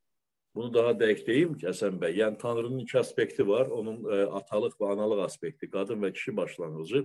Hər iki başlanğıcla ünsiyyət təlimi keçirir bizə, bizim valideynlərimiz. Bəli. Bəli, çox, sağ olun. Təşəkkür edirəm. Minnətdaram. Siz də. Növbəti Nigar xanım. Nigar xanım elə profildə adınız elə gedir. Zəhmət olmasa mikrofonu yandırın. Buyurun. Salam, axşamınız xeyirli olsun. Kənan bəy, Əli bəy. Çox maraqlı mövzular gedir hədsiz dərəcədə. Mənim iki sualım var idi. Biri çox qısa, biri isə biraz sizin baxış bucağınızla bağlı. Birinci onu soruşmaq istirdim ki, Əli bəy, sizin baxışınızdan ölüm nə deməkdir? Necə görünür? Yəni necə izah edərdiniz? İkinci isə onu soruşmaq istirdim ki, mənim hündürlük qorxum var, Əli bəy. Yəni mən həmişə yuxuda da, adi bir də hündür mərtəbəli binaya köç gedəndə, oradan baxanda sanki aşağı məni özünə çəkir kimi bir, yəni hisslər məni elə bir ki aşağı çəkir də nəsə. Bu belə bir qorxu var. Özünüzü atmaqdan qorxursunuz. Və özümüzə özümü atmaqdan qorxuram Əli bəy. Həm də ki necə bir hissdirsə, sanki yer məni özünə çəkir. Həmin an elə hiss edirəm ki, mənim istədiyim şey yerə düşməkdir. Yəni qəribə bir şəkildə sanki yer məni özünə çəkir və mən bunu istəyirəm. Ən yəni pis tərəf odur ki, bunu hiss edirəm ki, mən bunu istəyirəm. Yer hamımızı çəkir qızım özünə. Yerin çəkir. Aslında qüvvəsi var axı, yer bizi çəkir. Çəkməsə yeriyə bilmərik. O ki qaldı bəli, siz bunu istəyirsiniz. Ölümə e, ölüm ölüm anlamında mı istəyirsiniz demək? Ölümə doğru bir həvəsiniz mi var? Marağınız mı var? Deməzdim Əli bəy, deməzdim və e, normada ölümdən qorxan biri də deyiləm. Ancaq yəni bu məsələn təyyarədə də eyni şey baş verir. Təyyarədə olanda mən uje çatana qədər gözümü açmıram, kənara baxmıram və yerə yaxınlaşdıqca rahatlıq məni basır ki, hə burdan uje düşsəm heç bir şey olmaz. Yəni ayağım yerə dəysə mənim ölmək faizim azalacaq təbii. Bu da yüksək. Eynən bir şey. Yuxarıdan da baxanda doktor elə hiss edirəm ki, sanki ayağımla yer arasında çox böyük bir hündürlük var və yeri hiss eləməmək kimi bir narahat necə deyim, həyəcanmı deyim, təşviş kimi deyim, belə bir şey olur. Aydındır. Bu bir e, qorxu növüdür təbii, hündürlük qorxusu, ümumiyyətlə belə. Bu da yox olmaq, ölmək qorxusunun bir e, ifadə forması təbii sizdə. Birinci sual e, daha dəqiq, birinci sualı xatırladaq. Deməli, bir mənim üçün ölüm nədir? Mənim üçün ölüm E, bu birinci sual buydu, onu diyeceğim. Mən üçün ölüm paltarın bu, bu gördüyünüz bu zərrəciklərdən, enerji sıxlığından ibarət olan bu oyun e, avatar kampaltarını çıxartmaq deməkdir və bu oyundan çıxmaq deməkdir ölüm mənim üçün. Ölüm mənim üçün oyun e, oyunu quran, bu gördüyümüz illüzor dünyanı quran proqramist və əsl doğmam olan, doğmalığın sahibi olan əzəli dostum, sevgilim, qardaşım, əzizimin yanına, doğmamın, atamın, anamın yanına qayıtmaq deməkdir. Əsl doğmalığa, əsl belə itirdiyim dünyalara qayıtmaq deməkdir ölüm mənim üçün. Təbii ki, burada hələ işimiz, gücümüz var. Onları görüb bitirəndən sonra mı gedəcəyik, onu da e, vaxtı gələndə biləcəyik təbii. Ölüm mənim üçün bəli, bu oyundan çıxmaq, e, əsl evimə qayıtmaq şansı deməkdir. Bəs doktor, onda üzr istəyirəm, bu oyunun mənası nədir? Ha, bu oyunun mənası elə oyunun özüdür. Elə müqəddəs kitabda da var. Deyir bu doğru dünya oyun oynayacaq və əyləncədən başqa bir şey deyildir. Məsələn, kompüter oyunu oynayan insan nə üçün oynayır? Özünü orada gerçəkləşdirməyə çalışır. Belə fikirlər.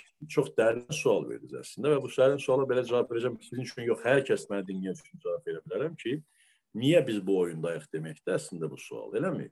Bəli.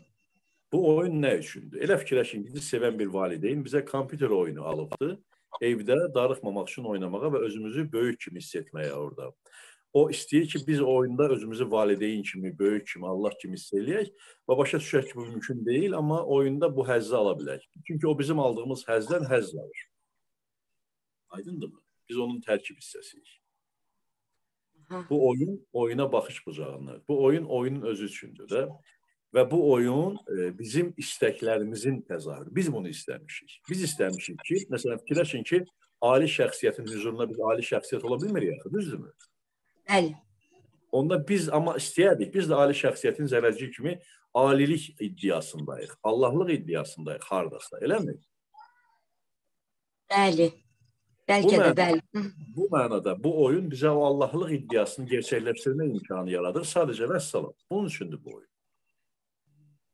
Mənbəyə geri dönmək üçün. Yox, oyunun özü üçün. Yəni özümüzü müvəqqəti də olsa Allah hiss etmək şansı yalnız maddi dünyalardadır. Hı. Çünki onun huzurunda biz Allahlıq iddiası daşıya bilmərik. Aha, aydındır. Ondan ötürü meydana çıxıb. Amma bu da Allahlıq iddiası da illüziya olduğu üçün bu oyun da illüziyadır. Belə. Buyurun, başqa suallar var mı? Çox suallı sualıza görə. Var, var. Suallar hələ çoxdur əlbət. suallar çoxalır azalmağın özünə. Almaz xanım Hacı Hacıyeva zəhmət olmasa Almaz xanım sualınızı verin. Yazılı sualları cavab verə bilmədiysə Instagram səhifəmə direktdə yollasın. Mən bunu xahişən vurğulayım. Biz bu işləri sual cavaba qərar verdik. E, yazılı sualları xahiş edirəm. Təkrar copy paste eləyin, yollayın mənim Instagram səhifəmə direktdə. Bir sutka ərzində onlara cavab verəcəm. Ən azı çalışacağam daha doğrusu. Bəli, buyurun. Axşamınız xeyir. Hər ikinizi salamlayıram. Doktor, mən belə bir sual vermək istəyirəm. Mən e, ümumiyyətlə həyəcanlanan kimi əl əllərim, ayaqlarım soyuyur. Bir də konkret bir insan var ki, yəni o insan özü aqressiv şəkildə danışır və mən o danışanda mən danışır, ona adi gəlir, yəni onun üçün adi haldır.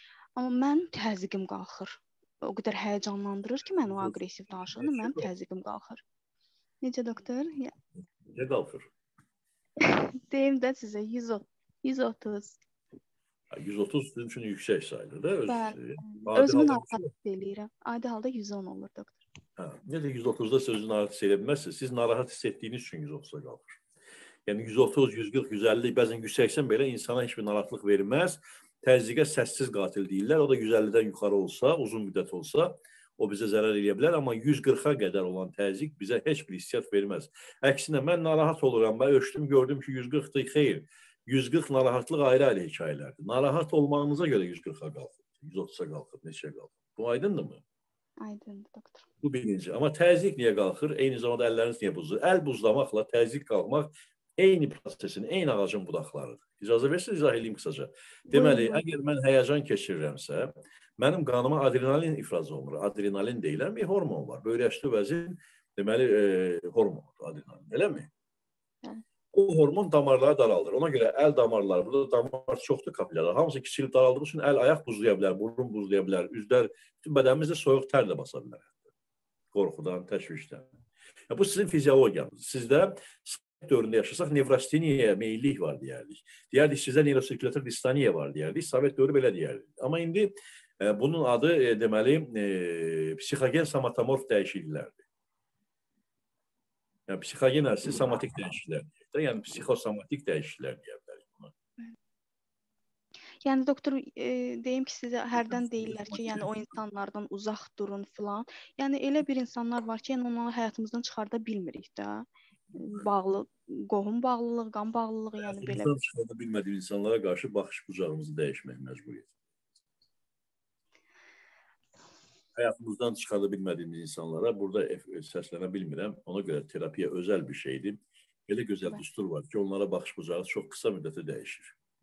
Sadəcə bunu hələ deyə bilərəm ki, o insanlar sizə təsir edə bilir ki, öz qışqır bağırları ilə, səsləri ilə, kovudukları ilə onları siz hara buraxmısınız? qəlb evinizə, kobud desə iç dünyamıza yaxın saymışıq. O insanlar bizdələr ki, biz onları iç dünyamıza buraxmışıq. Əgər bir insanı iç dünyama buraxmışam, bu mənim doğma atam olsa belə, o iç dünyamı zədələyirsə, o mənim atam da olsa genetik, o mənim iç dünyam adamı deyil, ona yad kimi baxmağı öyrənmək lazımdır. Yad adamdan siz qəzəblənməzsiniz, hirslənməzsiniz və ya qorxmazsınız. Mümkün qədər uzaq dura bildiyiniz insan, qəlbən uzaq durmağı öyrənməlisiniz. Bu bir. İkinci də ola bilər ki, sizin özünüzün e, hər hansı bir belə deyək ki, qeyri-düzgün fikriniz var bu səs qaldırmaqla bağlı. Onu bir təhqiramiz bir şey kimi qəbul edirsiniz. Bu da bir ayrı bir məsələdir. Yəni burada bir e, həssas bir, zamanında Bəli, Hı -hı, doktor, travma. həmin adamdan elə bil ki, zamanında travmalarım var, həmin iminlə həmin insandan. Bir travmalar var, ona gəlirdim elə. Travmalar var bir insanda. O insan əvvəl travma gətirib sonradan o o oxşar tonda danışanda, məsələn, qabaq siz üstünə qışqırıb da, amma belə kəskin danışır. Misal üçün deyirəm. Sonra həmin kəskin səslə mən səni sevirəm deyəndə əlbəttə sizdə qızıq yaranacaq. Çünki bu insan həmin o səs tonu ilə həmin o sizə qarşı verdiyi qəzəbi, e, üzləmə, aqressiyanı sizə qarşı etdiyi o travmaları, törətdiyi travmaları xatırladır sizə. Təbii bunun da psixoterapiya lazımdır. Posttravmatik xroniki stres e, pozuntusu halında bir vəziyyətdir. Bununla məşğul olmaq lazımdır. Çox-çox minnətdaram doktor. Çox sağ olun. Buyurun. Olun. Növbəti sual Məltəm xanımın sualıdır. Zəhmət olmasa Məltəm xanım mikrofonunuzu yandırın.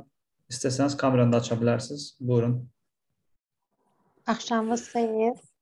Axşamınız xeyir olsun. Buyurun. Əli müəllim, deməli mənim sualım belədir. Yəni mən bayaqdan qulaq asıram. Hər kəsin bir qorxusu var. Yəni itirmək, yaxınlarını, nə bilim və yaxud da başqa vəsairə. Mənim heç cürə, yəni bu barədə heç bir hissim yoxdur da. Bu məndə psixolojidir. Məsələn, mən yaxınlarımı hansı ki, yəni yaxın qohumlarımdan itirdiklərim olanda, bu yaxınlarda da olub bir 2 ay bundan əvvəl. Yəni cəmi bir dəfə belə ağlaya bilmədim də. Bu nə ilə bağlıdır məndə? Hətta yəni valideynlərimə çox bağlıyam. Elə e, çox həssasam, çox e, zəifəm, zəif xarakterliyəm. Uşaq vaxtı evdə ağla, ağlamağa qadağan eləyiblər. Ağlamağa. Xeyr, xeyr, heç vaxt, yəni e, hisslərimə toxunmayıblar. Həmişə əl üstündə böyümüşəm. Yəni heç vaxt mənə baskı filan olmayıbdı ailədə. E, Ancaq necə? Ağlaya bilmirsiniz deyirsiniz, eləmi? Hə, öz hisslərimlə bağlı ağlaya bilirəm. Öz başıma gələcək nələrdənsə dolayı ağlaya bilirəm.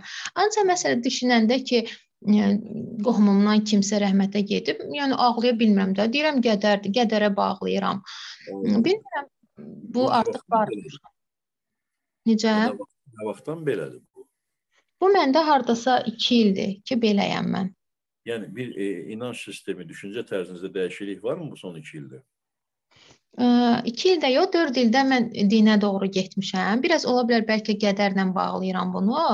Bilirəm, yəni çox sarsıntı keçirdirəm. Çox həddindən artıq özümə qapanıram, nə isə itirəndə, kimsə itirəndə. Hətta münasibətdə olduğum birini belə, yəni ayrılıqdan sonra bir neçə müddətdən sonra özümə gələ bilirəm. Amma heç ağlaya bilmirəm, heç. Yəni başa düşürəm. Ağlamaq həddinə nə vaxt çatırsınız? Hansı halda çatırsınız? Mən ancaq o vaxtlarda ağlayıram ki, kimsə mənim haqqımda nəsə böhtan filan desin. Yəni kimisə itirməyi mən böhtanı ondan üstün tuturam ki, hə, kimsə məni itirsəm bir qədərdir. Ancaq kimsə mənim haqqımda səhv bir şey deyəndə mən onu inandırmağa çalışanda artıq onda ağlaya bilirəm. Aha, ağlayırsınız. Bəli, bəli, bəli, maraqlı. Deməli sizin özünüz haqqında fikirlərin itmək, yəni cəmiyyət gözündə, insanlar gözündə, öz gözünüzə düşməkdən qorxursunuz, eləmi? Heç qorxmuram, heç başqalarını önəmsəmirəm. Heç mənim üçün, yəni başqalarının fikri önəmli deyil. Özüm özüm. Sübut eləsə mən yaxşı adamam, bu momentdə ağlaya bilərsən. Sən niyə mənim haqqımda fikirləşirsən? Mən yaxşı insanam. Yox, Yo, yo, o barədə yox ki, məsələn, mən yaxşı adamam, heç onu önəmsəmirəm, heç umursamıram da. Heç kəs heç onu sübut eləmək borcunda da görmürəm özümü. Artıq o o yerdə özümü ancaq bir yerdə ağlaya bilirəm ki, məsələ görürəm, a mən məsələ onu nə isə eləməmişəm. Ancaq e, mən bunu bu haqqda danışsam da bu uzun çəkəcək. Məsələ həmin adama danışmıram, boş verirəm, ancaq onda ağlayıram. Hə, özümlə baş-başa qalıb ağlayıram.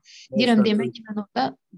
Bax, qızım diqqətlə qulaq -hı. Yəni, öz mən anlayışının bir hissəsi sanki qopmuş, yıxılmış, ölmüş olur da, eləmi? Bəli, bəli. Ha, bu da yox olmaq qorxusunun bir hissəsi. Deməli, dini inanc üzərindən insanların ölümünü qəbul etmiş olsanız da, Aha. yox olmaq qorxusu itməyib. Yox olmamaq istəyi var həmişə. Deməli, başqalarının itkisi sizi incitmir. Ona görə ki, bədənlərin ölümünü dini inanc üzərindən qəbul etmisiniz. Özünüzə öyrətmisiniz, yedirmisiniz beyninizə. Bəli, Amma bəli. Amma mən anlayışı var, mən belə yaxşı qızam, bayaq təkrar edirəm. Mən axı belə iş eləmərəm. Niyə mənim haqqımda belə düşünürlər? Yəni mənliyini itirmək qorxusudur da bu da. Hı -hı, o bilər, yəqin ki, bu da onun açıqlaması. Yəni bu da bu da bu da bir e, o mənim o dediyim yox olmaq qorxusunun bir variantıdır. Aydındır mı? Aydındır. Bir də mənim atam yaşlıdır. Aha. 67 yaşı var. Yaxınlarda, yəni anasını itirdi, nənəmi. Ondan sonra daha da çox atam əvvəlcədən ölümdən qorxurdu. Ondan sonra daha da özünə çox qapandı. Məlum məsələdir. Yəni bu vaxtlarda pandemiya ilə bağlı ümumiyyətlə heç yerə getmək istəmir. Elə bilir ki, əslində nənəm ondan rəhmətə getməyib, amma elə bilir ki, hara getsə, kimsə gəlsə, elə ölüm kimi filan gətirəcək də, yəni evə. Bu belə bir düşüncələr yaranıb atamda. Onu onun psixologiyası da çox möhkəm biridir. Yəni onu onun fikrindən necə çıxarda bilərik özümüz? Psixologiya möhkəm ya zəif məsələsi biraz sual altındadır. Psixologiya sözünü burada qəbul etmədim. Yəni möhkəm deyil. Nə baxımdan dedim? Yəni e, qəbullanmır deyir. Mən özüm özümü tanımış, özüm özümü doğrultmuş biriyəm. Yəni heç nə mənə kömək eləyə bilməz özümdən başqa. Mən onun özünə necə kömək eləyə bilərəm ki, o artıq ə, qəbullansın. Özünə kömək etmək istəməyənə siz heç cür kömək etmək istəyə bilməzsiniz. Kömək edə bilməzsiniz. Yəni, amma məsələn özü istəsə vəziyyətini düzəltmək və bu vəziyyət onu narahat edirsə, o anlayırsa ki, onda ölüm posttravmatik stres pozuntusu əsasında yaranan, o torpaqda yaranan bir ölüm qorxusu var. Onda və onun üzərindən özündəki bu nevrotik vəziyyəti anlasa və qəbul etsə və bunu dəyişmək istəsə, ona sizin köməyiniz onu psixoterapevtə yönləndirmək olacaq. Hı -hı, aydın. Bu yaşda kömək olarmı ona? Ümumiyyətlə bütün yaşlarda effektiv ola bilər. Bir şərtlə ki, insanın əqli potensialı yerində olsun. Yəni Alzheimer xəstəsi olmayana biz kömək edə bilərik. Aydındır. Çox sağ olun Əli doktor. Sizlə çoxdan da danışmaq istəyirdim. Ən çox da elə bu məsələ imiş məni narahat edən yerinə düşdü. Təşəkkür edirəm. Özünə kömək etmək istəmirsə, siz ona kömək edə bilməzsiniz. Aydındır. Çox sağ olun. Canan bəy, mən növbəti suallara getməyə hazıram, amma siz vaxtımız ilə belə nə qədər biz efirdə olmalıyıq? Yəni Hə, olmalıyıq, məcburiyyəti yoxdur Əli bəy. Sizin ə, ixtiyarınızda. Gəlin yarısına qədər vaxt qoyaq, istəyirsinizsə mən təklif edirəm. Olar mı elə? Saat yarımlıq bir saat olur seanslarımız. Burada saat yarımlıq e, blitz kütləvi söhbət atır. Bəli, bəli. Nəzərə alsaq ki, siz konsultasiyadan sonra yorğunsunuz. Mən ümumiyyətlə ə, istəyirəm soruşum, neçə suala siz ə, cavab vermək istəyirsiniz əlavə? Onu Yəni, say deyək. Yarım saatin imkan verdiyi qədər. Yəni onda ə, yarım saat bir sualda olsa ə, 21:30-da dayandırarıq. Sonra kimlərin suallarını cavablandıra bilməyəcəksə, ə, hansı suallar qalacaqsa, xahiş edirəm ki, ə, Əli bəyin Instagram hesabına, bizim profildəki hesabdan keçəsiniz, direktə yazasınız. Bu suallara Əli bəy dedi 24 saat ərzində çalışacaq cavab versin. Amma axşama qədər cavab verir. Amma özümüzü sığortalayaq deyək ki, seansları çox olsa, çox yorğun olsa növbəti gündə cavab verə bilər. Qüsura baxmayın. Bazar günü, bazar günü məndə seans olmur, sabah axşama qədər çalışıb cavab verəcəm. Hə, Yəni ki, bu bu gün e, e, ki, yəni e, e, cavab vermədisə 24 saatin ərzində mütəxəssis də siz e, qəzəblənməyin ki, mənim məktubumu oxumadı və s. Əgər psixologiya ilə bağlı sual vermisinizsə, ə, deməli ə, böyük ehtimalla o suala vaxt tapan kimi cavab verəcək. Ola bilər ki, çox suallar olanda cavabın ə, verməməyə, yəni diqqətdən yayıla bilər. O da yəni ki, qərəzlidir. Yaxşı, ə, növbəti da 140-a qədər adam olur hər dəfə 140-150 və Onun fikri orada deyirəm və həqiqətən də suallar olur. Məsələn 30-40 nəfər yazır. Mən bir sutka ərzində söz verdiyim kimi həmişə ən azı baxıram ki, məsələn bu sual burada cavablandırılası deyil, o da bir cavabdır da. Deyirəm bu sual üçün mütləq məsəl üçün əyani danışmaq lazımdır. O cavabı da olsa ən azı reaksiya verirəm. Ona görə narahat olmasınlar, yazsınlar. Çox sağ olun. Bəli, buyurun. Hı -hı. Deməli, ə, Ceyran xanım sual verir. Buyurun zəhmət olmasa Ceyran xanım. Salam, Əli, Əli doktor salamlayıram. Deməli mənim sualım elə qorxunun özü ilə bağlıdır. Yəni mən ə, həm hesab eləyirəm ki, mən çox özgüvənliyəm, həm də hesab eləyirəm ki, çox qorxuram. Ə, insan həm mükəmməliyyətçiyəm, həm də ə, insanlarla çox empatiya qururam və düşünürəm ki, bu məni çox zəif və qorxaq edir. Yəni mən bu anlaya bilmirəm öz vəziyyətimi, gah çox güclü, özgüvənli oluram, ə, kiməsə cavab verə bilirəm, çıxış eləyə bilirəm, ə, amma bəzən də çox ə, empatiya qururam və özümü çox zəif görürəm. Özümü müşahidə edirəm ki, mən çox zəif davranıram. Bu hansı hallarda olur? Kimdən zəif davranırsan çox? Ən çox məsəl üçün ə, ə, fərqi yoxdur, yəni ə, ən çox deyim ki, işdəki insanlarla ə, işdəki insanlar zəif olursunuz. Cavab verə bilmirsiniz, fikrinizi deyə bilmirsiniz onlara. Bəli, bəzən fikrimi deyə bilmirəm və yaxud da fikrimi çatdıra bilmirəm. Ən çox kimdir? Ən çox ə, rəhbərlik deyək. Okey, görürsünüz, getdikcə konkretləşdir. Rəhbərlikdən ən çox kimdir? Yəni sizin iş xarakterinizi deyə bilərsiniz, açıqlaya bilərsiniz bizə. Demirəm harda işləyirsiniz, hansı xarakterli işləyirsiniz? Aha, məktəbdə işləyirəm. Rəhbərlik deyəndə zavuş dediyimiz tədris sizə müdüründən gedir söhbət, direktordan mı gedir? Direktordan. Kişidir mi, qadındır mı qızım? Kişidir.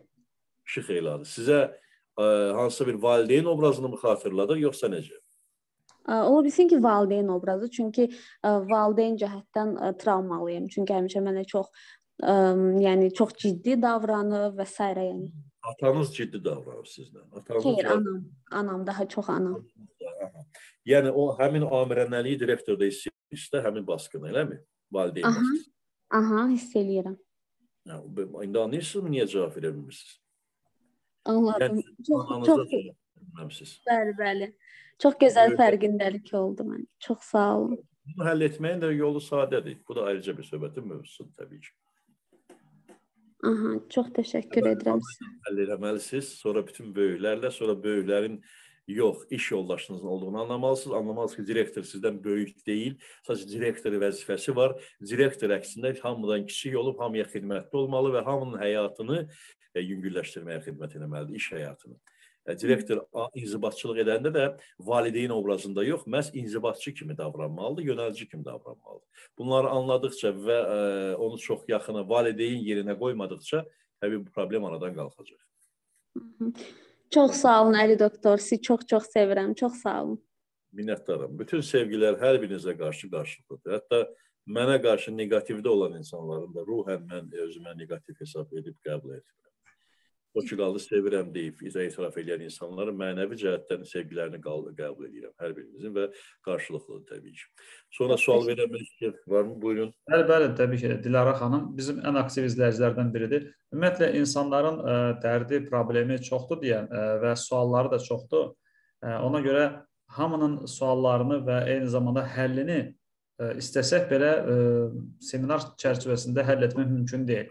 Eyni zamanda mən qeyd edim ic- icazənizlə bir məqamı ki, ə, bizim psixologiya məktəbinin də bu saat hal-hazırda praktikantları da yetərincə yaxşı hazırlıq keçmiş mütəxəssislər var. Məzunları demirəm, məzunlar artıq çalışırlar, onların öz ə, praktikası var və s.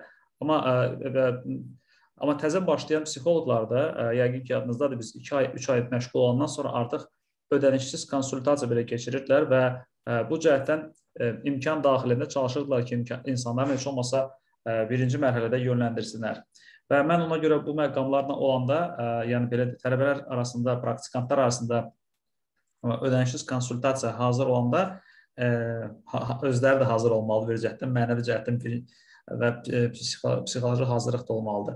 onda mən bu elanları həm Instagramda eləyəcəm, həm də ki Telegram qrupunda elan eləyəcəm. Ə, təbii ki, orada da biz ə, 100 nəfəri yox, məsəl üçün 10 nəfər maksimum qəbul edə bilərik, amma elanlar olacaq.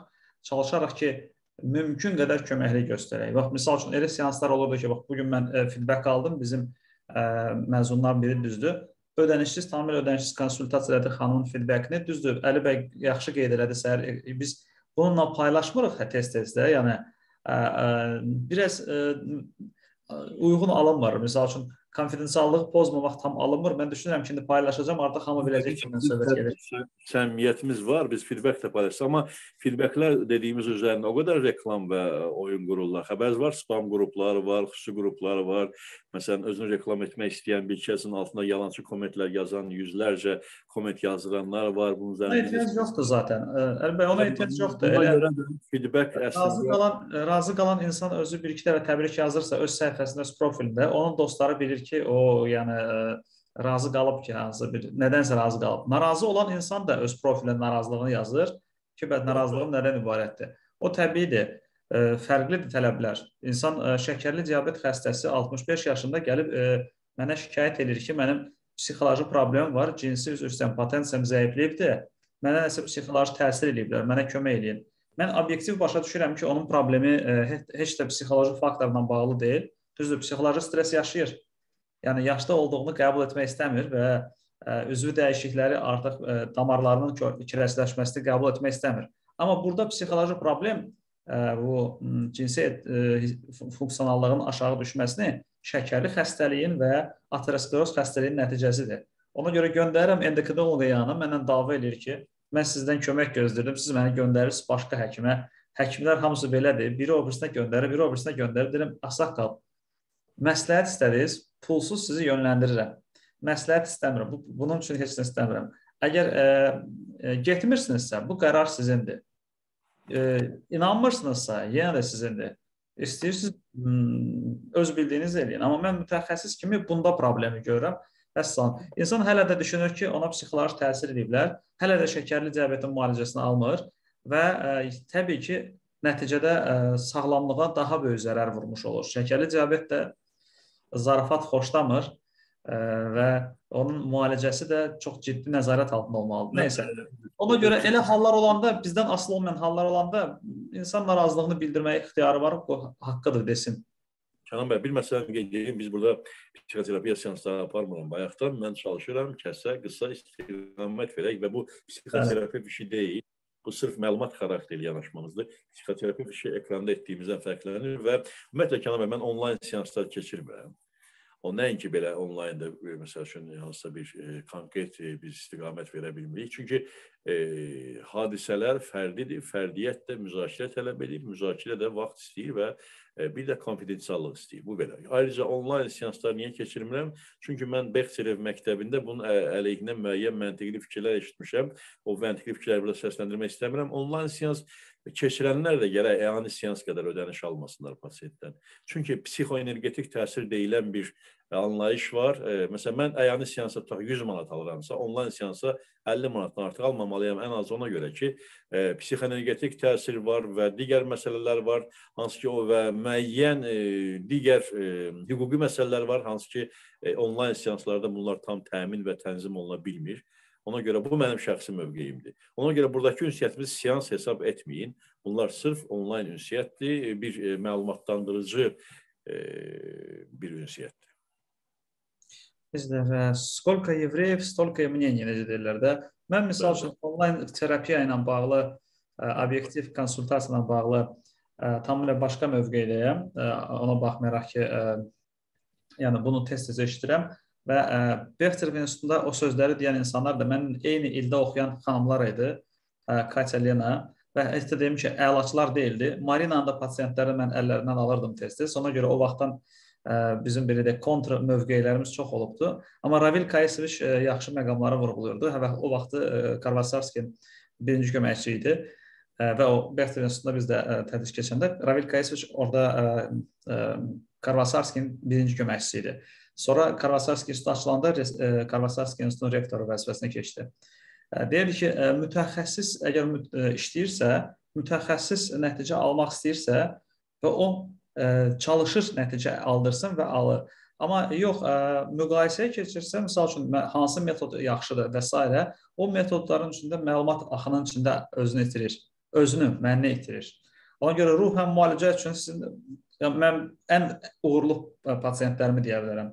Birinci pasiyentimin ə, konsultasiyasının birinci görüşümüz canlı olmuşdu. Qalanları telefon zəngi ilə indi o vaxt 98-ci ildə. Telefon heç WhatsApp-da birinci ünsiyyət canlı olmuşdu Kənan bəy.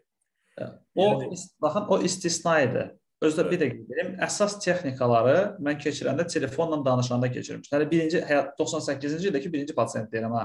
Telefonla danışdığıma görə ki, bəli, ona görə ki, mən də məsələn uzananda il ərzində də son ərzində yalnız onlayn konsultasiya keçirdirəm, demək olar yalnız və ə, panik atakda və digər sindromlarla da elə olar ki, bunu müalicə etməmək üçün bir şey deyim Kənan bəy sizə. Ya bu gün mənim efirimdir də, icazə versiniz. Ona görə biz mən sizə sual cavab verim. İcazə vermiş şey deyəm, onlayn e, ünsiyyət və canlı ünsiyyətin effektivliyi ilə bağlı elmi nəticələr ortalıqda olmadığı nöqteyi nəzərdən baxış bucaqlarımızı müzakirə mövzusuna, yəni mübahisə mövzusuna çevirməyək. Mən mübahisə etmirəm. Sadəcə fərqli mövqelər olduğuna görə hər tərəf siz bayaq dedinizdə fərqli bucaq mövqeləri var. Hər kəsin öz əsası var bunun üçün. Bu mənim baxışımdır. Mən kliniklə bağlı Pərvanə xanım sual verdi. Mən Pərvanə xanıma yetərincə ətraflı məlumat vermişdim, amma yenə də eyni sualı verdi. Baxmayaraq ki, bugünkü mövzu sırf o deyildi. Yəni o mənim şəxsi mövqeyim idi. Sizin mövqeyiniz, baxış bucağınız başqadır. Mən deyirəm ki, mən elmlə məşğul oluram və elm haqqında danışmaq istəyirəm. Elm olmayan sahələrə aidiyyətim yoxdur. Yəni ki, mən e, məlumatım ola bilər, məlumatım ola bilər, amma aidiyyətim yoxdur. Məsəl üçün e, dinlə bağlı deyirəm ki, məlumatım bir qədər var, amma mənim sahəm deyil, mən o sahənin e, e, təbliğatı ilə məşğul olmuram. Ona görə ki, e, daşıyıcısı deyiləm. Yəni o haqq sözünü çatdırmağı var, düz, düzgün çatdırma yolu var. Ona görə mən də məsləhətləşirəm bu sahədə daha səlahiyyətli olan dostlarımla. Eləcə də digər sahələr üzrə.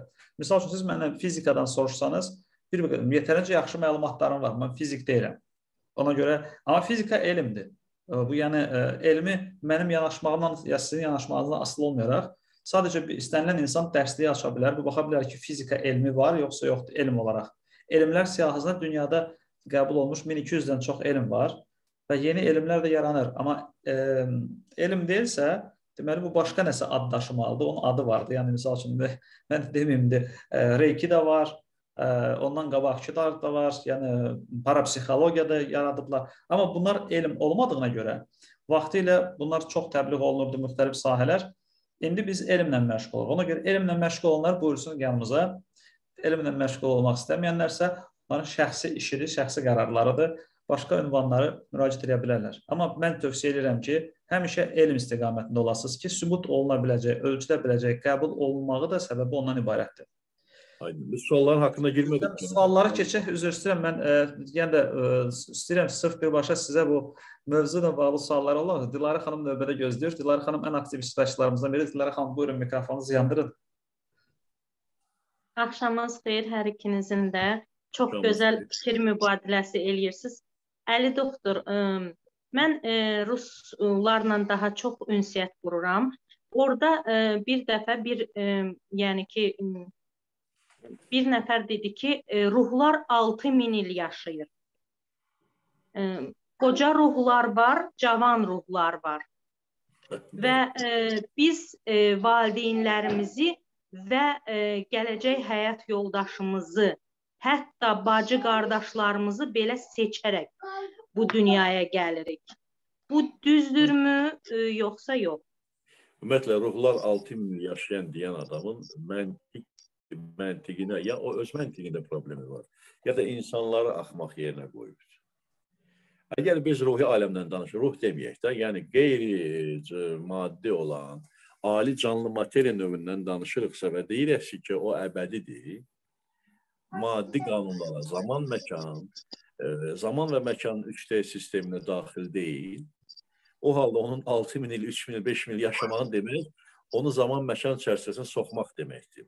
Bəlkə o kabusları nəzərdə tutur, kabuslarla bağlı deyilsə, bu ayrı bir yanaşmadır. Burada da bir elmi məntiq sərgiləmək olar. Orada da o kabusların ömrünü ölçəcək cihaz yoxdur ki, hansısa bir özünü axmaq yerinə qoyan, insanlara həqiqətən təfəkkürünə problem görən, onları aşağılayıb özünü ağıllı hesab edib bunları deyən insanlardan biraz ehtiyatlı olmaq lazımdır. Baxın, sizcə əbədi olan varlığın yaşı ola bilərmi? 3 yaş, 5 yaş. Xeyr, mən mən e, o adamla e, mübahisə elədim ki, e, yəni mən e, deyə bilərəm ki, tutalım ki, mənim ruhum məndən əvvəl bir e, tiranın bədənində olub və indi mən e, onun e, necə deyim, onun elədiklərini ola bilər ki, e, reinkarnasiya keçərək, yəni e, yumağa çalışıram. Amma o demək deyil ki, onun yaşı var. Mən onu düşünmürəm. Onu o eləmir, o eləməyib. Əgər siz reinkarnasiya anlayışına baxışınız varsa, müəyyən fikriniz varsa, çox sağ olun bu fikrə görə, amma yəni onun elədiyi deyil, o da sizin elədiyinizdir. Əgər mən elə oyamsa, o tiran yox, tiran obrazında olmusunuzsa, yenə siz olmusunuz. Mən bu gün Range Rover e, idarə edib düşüb Chevrolet Niva sürürəmsə, bu da mənəm sürən, bu da mən sürücüyəm. Maşınlarım dəyişib sadəcə. Və tutaq ki, mən Range Rover sürəndə böyük sürətlə gedib radarlara düşmüşəmsə, o radarlara düşdüyüm o pulu, e, cəriməni kim ödəyir? Range Rover ödəyir, yoxsa bugün Chevrolet Niva sürən Əli doktor ödəməlidir? Əli doktor ödəməlidir. Deməli, sən elə həmin sənsən. Sadəcə bədən formatını dəyişə bilər. Ona qalsa ömrümüz ərzində bədənimiz ən azı bir e, neçə dəfə dəyişirsə onu gözümüzlə şəkillərimizə baxanda görürük. Üz ifadəmizdə. Hər 6 aydan bir bütün hüceyrələrimiz demək olar ki, tamamilə dəyişir. Bədənimizi biz onsuz da dəyişirik. Ona görə dəyişən, dəyişməyən özmənimizdən gedirsə söhbət, bəli. O özmən müxtəlif həyatlarda, müxtəlif obrazlarda, müxtəlif yerlərdə, eyni zamanda da bir neçə müxtəlif obrazlarda olma ehtimalında. Buna görə də e, ona yaş vermək olmaz.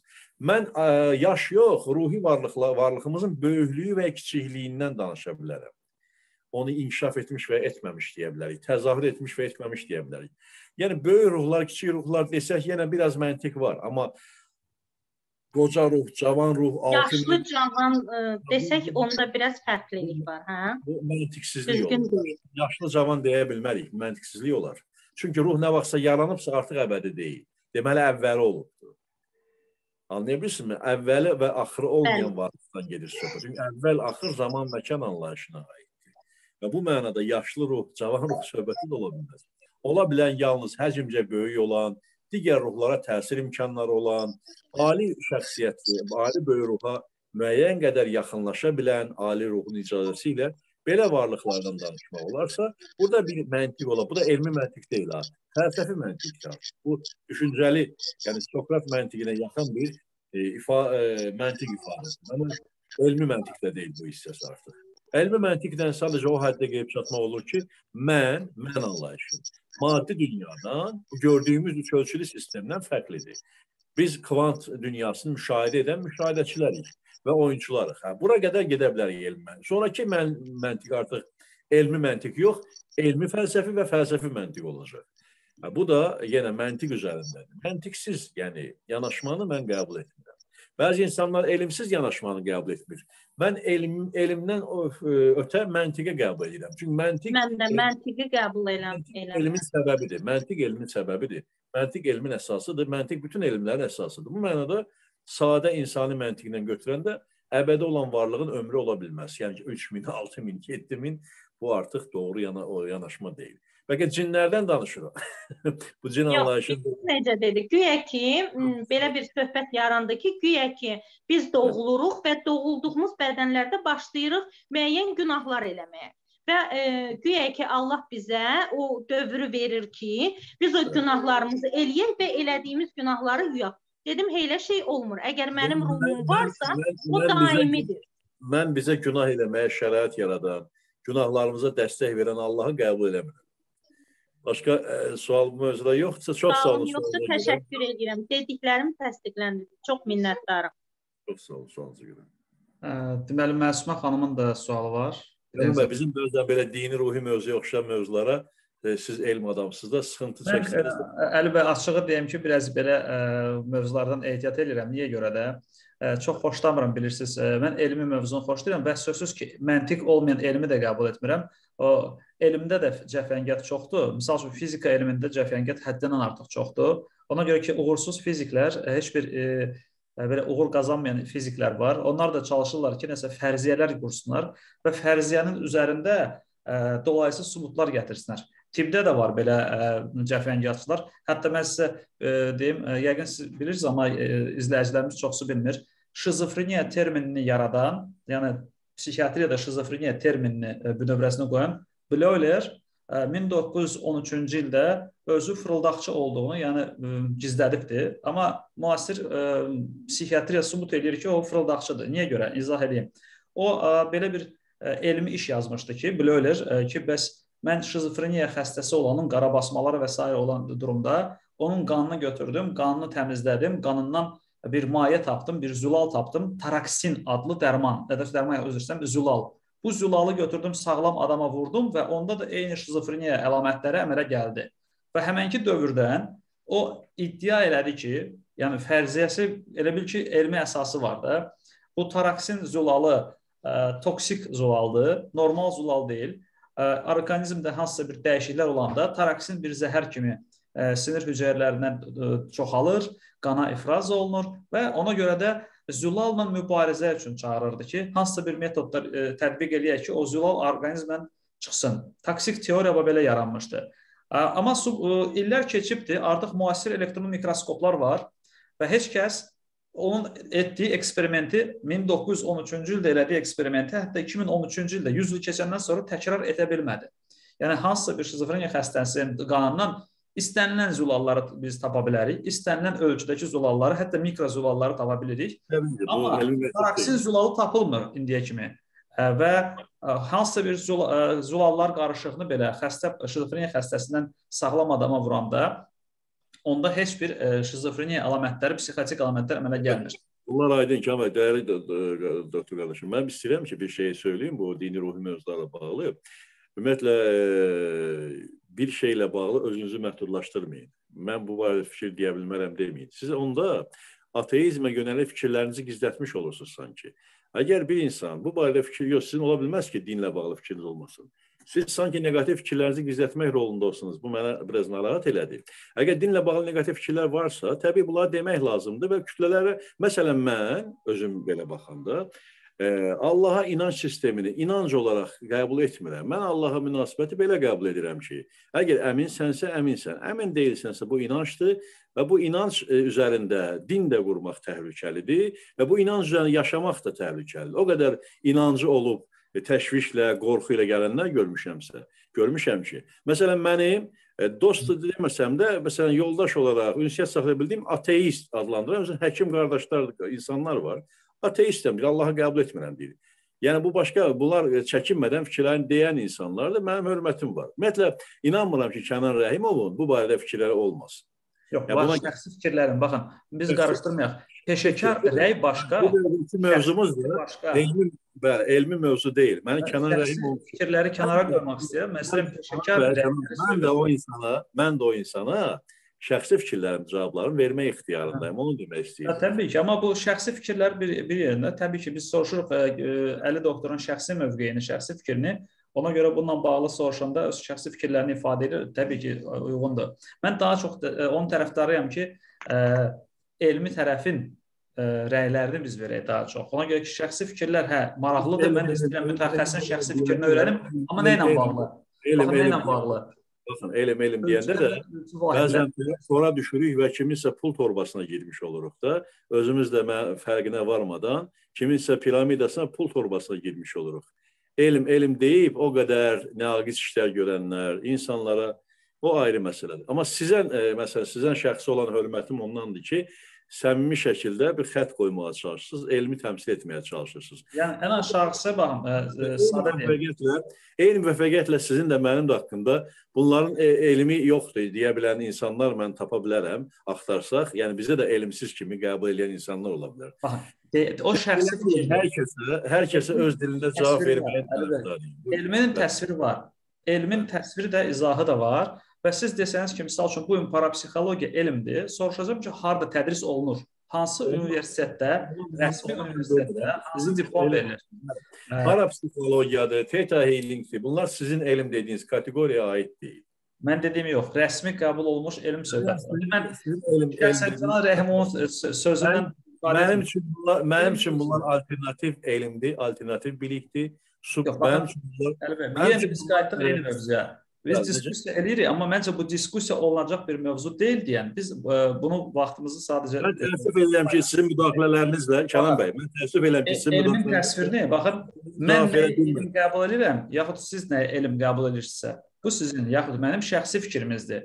Bu elm təsviri deyil. Ona görə biz elmin təsvirini şəxsi fikrimizlə əvəz etmiş oluruqsa, onda biz demək olar ki, insanları da bir qədər yanlış istiqamətdə aparırıq. Məsəl üçün İslam dininin elmi var. Kənan bəy, bir var elm, bir də var alternativ alternativ yollar var, hansı ki onları elm kimi qəbul olunmur. O elm dediyiniz Bəli, söz bəli. elm Nə dediyiniz vaxtsa elm ola bilər. Nə vaxtsa elm ola bilər. Mən o, o ə, elmin inkişafı dərəcələri də yaxşı bilirəm və ə, nə vaxtsa fizika elm deyil idi. Ona görə ki, fizikadakı o elektrik cərəyanının nədən yarandığını heç kəs bilmirdi. Və təsəvvür edək ki, qədim ə, Yunanıstanda təsəvvür edək ki, ildırım göydə əmələ gəlirsə, deməli Zevs göydən onu atır. Ə, Belə bir təsvir var idi. Bu elmi düşüncə deyil təbii ki. Nə vaxtsa ə, fizika inkişaf elədi və fizika ə, bunun ildırımın yaranma mexanizmini izah edəndən sonra bu fizika elminin ayrılmaz bir hissəsi oldu.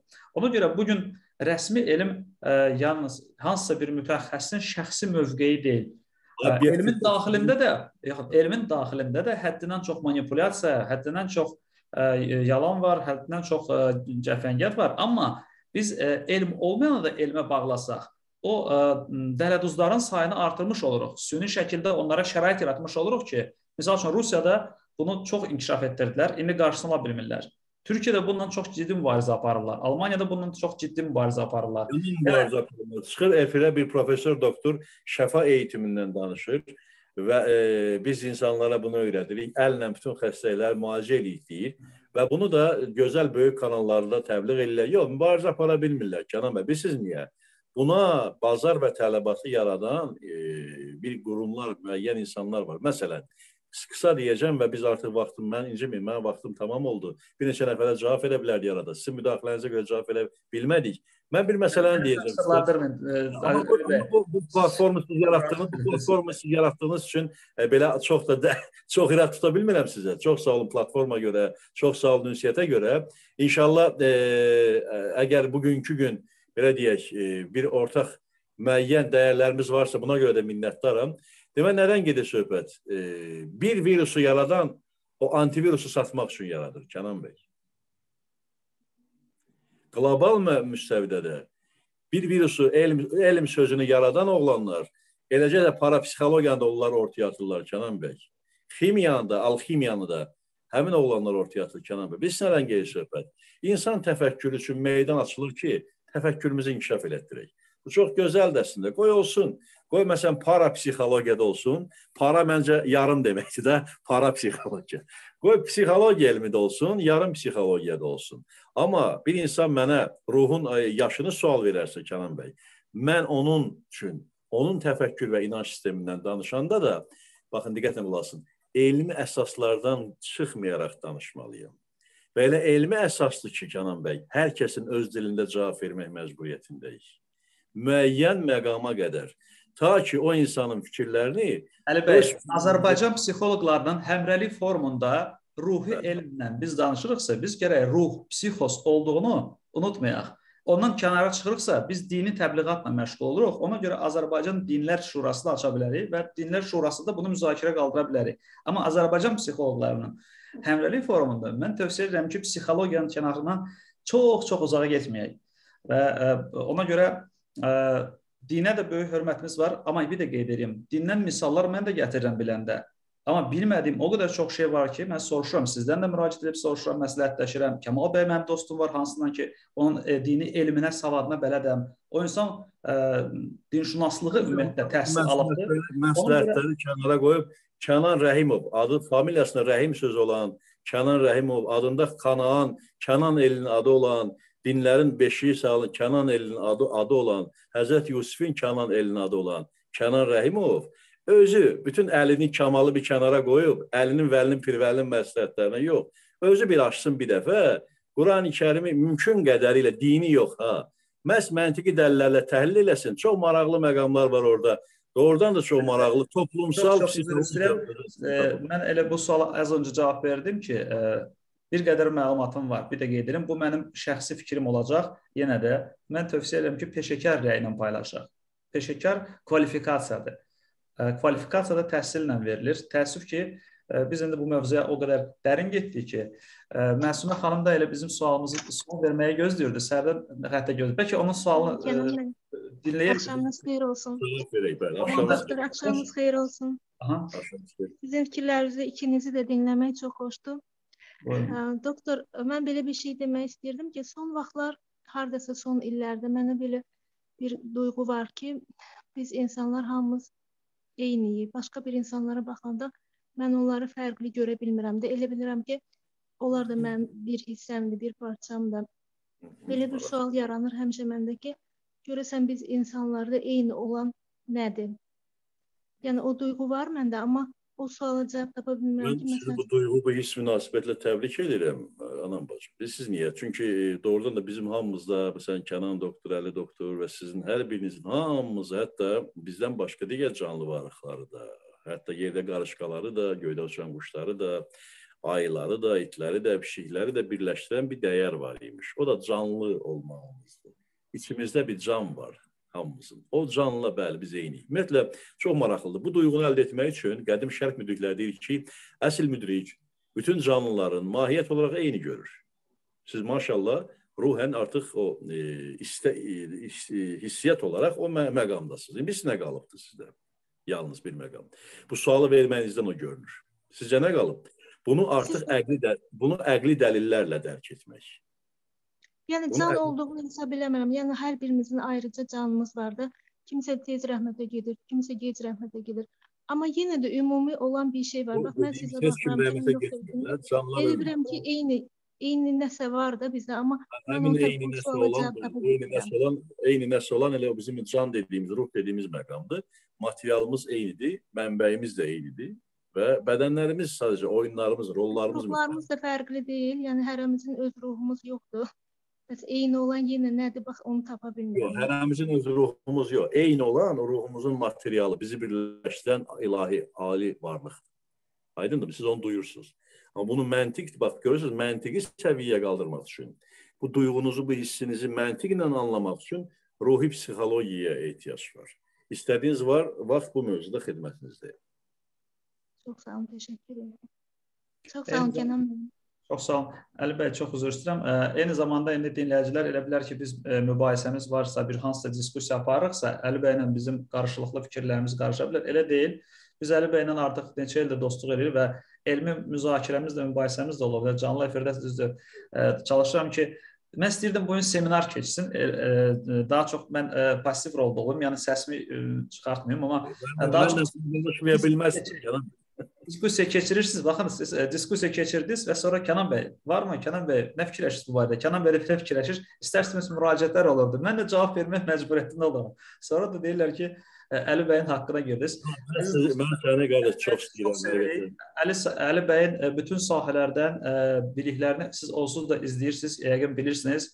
Hər sahədən bilikləri o qədər genişdir ki, hansı mövzuda onun müzakirə aparanda bir müddətdən sonra təhsilah edir insanı və istəyir bu tibbdən olsun, istəyir e, dindən olsun, istəyir e, hansısa başqa sahələrdən çox genişdir, yəni bilikləri. Fizikanı da hətta əminəm ki, e, dərinə getsəniz görəcəksiniz ki, e, e, fundamental fizikanın əsaslarını izah edib, yenə də sizə e, yəni yetərincə dolğun məlumat verəcək. Ona görə ə, tövsiyə edirəm ki, siz ə, Əli bəyə bu gün suallar vermək istədiyiniz şəkildə ya da ə, hansı suallara cavab tapa bilmədiyi şəkildə ə, onun Instagram səhifəsini izləyin hər gün təqribən e, bir dəfə heç olmasa hər hansı bir paylaşım eləyir. Bəzən səhərlər paylaşım eləyir, bəzən axşamlar paylaşım eləyir və hər dəfə bir mesaj göndərir. Yəni e, baxmayaraq ki, indi biz biraz diskussiya formatında mən çalışdım ki, forumun e, çərçivəsindən çox uzağa getmək, izləyicilər sualları ə, hərəsi öz istiqamətdə verirdi. Mən daha çox istəyirdim ki, həqiqətən bu 1 saat yarımı biz daha çox ə, ruh ə, elminin belə personalizm fəlsəfəsi baxımından, personalizm psixologiyası baxımından sırf bu itki qorxusunu, ölüm qorxusunu eyni zamanda Əli bəyin bugünkü mövzuya daha çox fokuslaşar, fokuslaşdıraq. Amma suallar çox uzaqdan oldu deyə diqqət yağırdı və bu da istərsiniz. Sizdə mahiyyət çəkənə baxın. Sizi çox istəyənlərimiz çoxdur. Mən özüm də sizə qarşı çox belə pozitivdəyəm həmişə. Ruhən e, yaxın hesab eləyirəm. Siz bizim əslində ömrümüz nə ilə keçir Kənan qardaş? Bizim ömrümüz ondan keçir ki, ağlımızı ruhumuza uyğunlaşdırırıq. Yəni ömrümüz özümüzü axtarmaqla keçir, özümüzü axtarmaqla keçir. Fizikada axtarırsan, axtar, kimyada axtarırsan, kimi parapsixologiyada, yarım psixologiyada axtarır. Dəxli yoxdur. Hamımız özümüzü axtarmaqla məşğuluq və mən çox sevinirəm ki, mənimlə ə, e, həvəslə oponentlik elədiyim, müxtəlif fikirləri əks hətta söyləməyə icazə verən və bundan inciməyən Kənan adlı qardaşımız, dostumuz var. Mən buna görə çox sağ ol, minnətdarlıq bildirirəm. Bu platforma minnətdaram və 28 haqqında da elan vermisənsə, vermisən mən verim ki, 28-də də Kənan bəyin e, həvəslə iştirak edəcəm dəvətində. Orada da, amma orada biz Kənanla mübahisə eləməyəcəyik. Bundan sonra Kənanla mübahisəli mövzuları pərdə arxasında həll edib sonra sizin qarşınıza çıxacağıq ki, vaxtınızı almayaq. Əziz dostlar, deməli 28 dekabr yəni keçirəcəyimiz e, deməli tədbirdə də e, Əli bəy spikerlər arasında olacaq. Mən orada moderatorluq eləyəcəm, amma çalışacağam ki, siz demişkən sualları ə, psixologiya üzrə olan sualları yönləndirəcəm. Psixologiyaya aid olmayan suallar deyəcəm ki, onları başqa forumda müzakirə eləyərik. Bu başdan xəbərdarlıq eləyim ki, bir dəfə də psixologiya yox, fəlsəfi e, və yaxud da ki, belə deyək, dini fəlsəfi və yaxud da ruhi fəlsəfi mövzular. Var, elə, Müəllim, mənim də marağım var. Mən də istəyirəm, ə, elə bir şeylər var ki, mənim üçün də maraqlıdır, öyrənmək istəyirəm ə, və maraqlıdır da həqiqətən də o ruhu necə çəkmək olar. Dini pozisiyasından da çıxış eləmirəm ha Kənan bəy. Xalis o klassik İslam pozisiyasından çıxış eləmirəm. Məsələn, klassik İslam pozisiyasında reinkarnasiya anlayışı yoxdur. Çox sağ olun, e, minnətdaram. Yəni ə, Əli bəy orada ə, birinci hissəsi olacaq sual-cavab hissəsi. Ə, yəni orada ə, birbaşa seminar olmayacaq və əminəm ki, ə, Əli bəyə ə, suallarınızı orada verə bilərsiniz və bu sual-cavabda tək Əli bəy yox, digər bir neçə spikerimiz də orada olacaq. Bu bu mövzu ilə də suallar verə bilərsiniz və orada mövzular yəni sırf ölüm qorxusu ilə, itki qorxusu ilə bağlı olmayacaq, daha geniş suallar verə bilərsiniz. Hətta ə, şəxsi suallar da verə bilərsiniz. Amma yenə də xahiş edəcəm ki, çox belə dərinə getməyək. Çalışaq ki, şəxsi suallar olanda da məsəl üçün ə, çox şəxsi suallar verməyəsiniz də. Yəni Allahın şəxsi keyfiyyətləri ilə bağlı suallar verməyin də. O o suallar şəxsi suallar ə, forumda müzakirə olunur, o normal suallardır. İndi var elə məqamlar ki, məsəl üçün onları ə, forumda ə, səsləndirmə biraz o qədər də maraqlı deyildi. Başqa izləyicilər üçün də maraqlı olsun deyə deyirəm. Bəli, bəli. Kiminsə düz deyirsən. Canbə çox sağ olun. Çox sağ olun əziz dostlar. İnşallah sabah növbəti mövzuda Ülkər xanım Ərəbxanova çıxış edəcək. Bizim koordinator deməli Nərgiz klinikasında da ilk qəbulu, diaqnostik qəbulu aparan Ülkər xanımdır. Ona görə həkimdir özü də və illərdir artıq bu sahədə çalışır. Hal-hazırda da bu ildə artıq yekunlaşdırır. Karvasarski adına institutun psixologiya üzrə hal-hazırda ixtisas artımını da yekunlaşdırır, psixologiya məktəbində yekunlaşdırır eyni zamanda. Yəni daimi öz üzərində işləyən mütəxəssisdir və hal-hazırda onun hazırladığı çox gözəl bir forum olacaq sabah, seminar olacaq forumda sabah. Deməli, posttraumatik stresslə bağlı olacaq yenə də, amma fərqli yanaşma olacaq. Deməli, faciədən sonrakı həyat. Bax bu cür adlanır. Yəni ki, posttraumatik stress sindromundan sonra insanları necə reabilitasiya etmək lazımdır normal həyata onu qaytarmaq etaplarına barədə danışacaq. Çox maraqlı mövzudur və eyni zamanda qeyd edirəm ki, çox praktik mövzudur.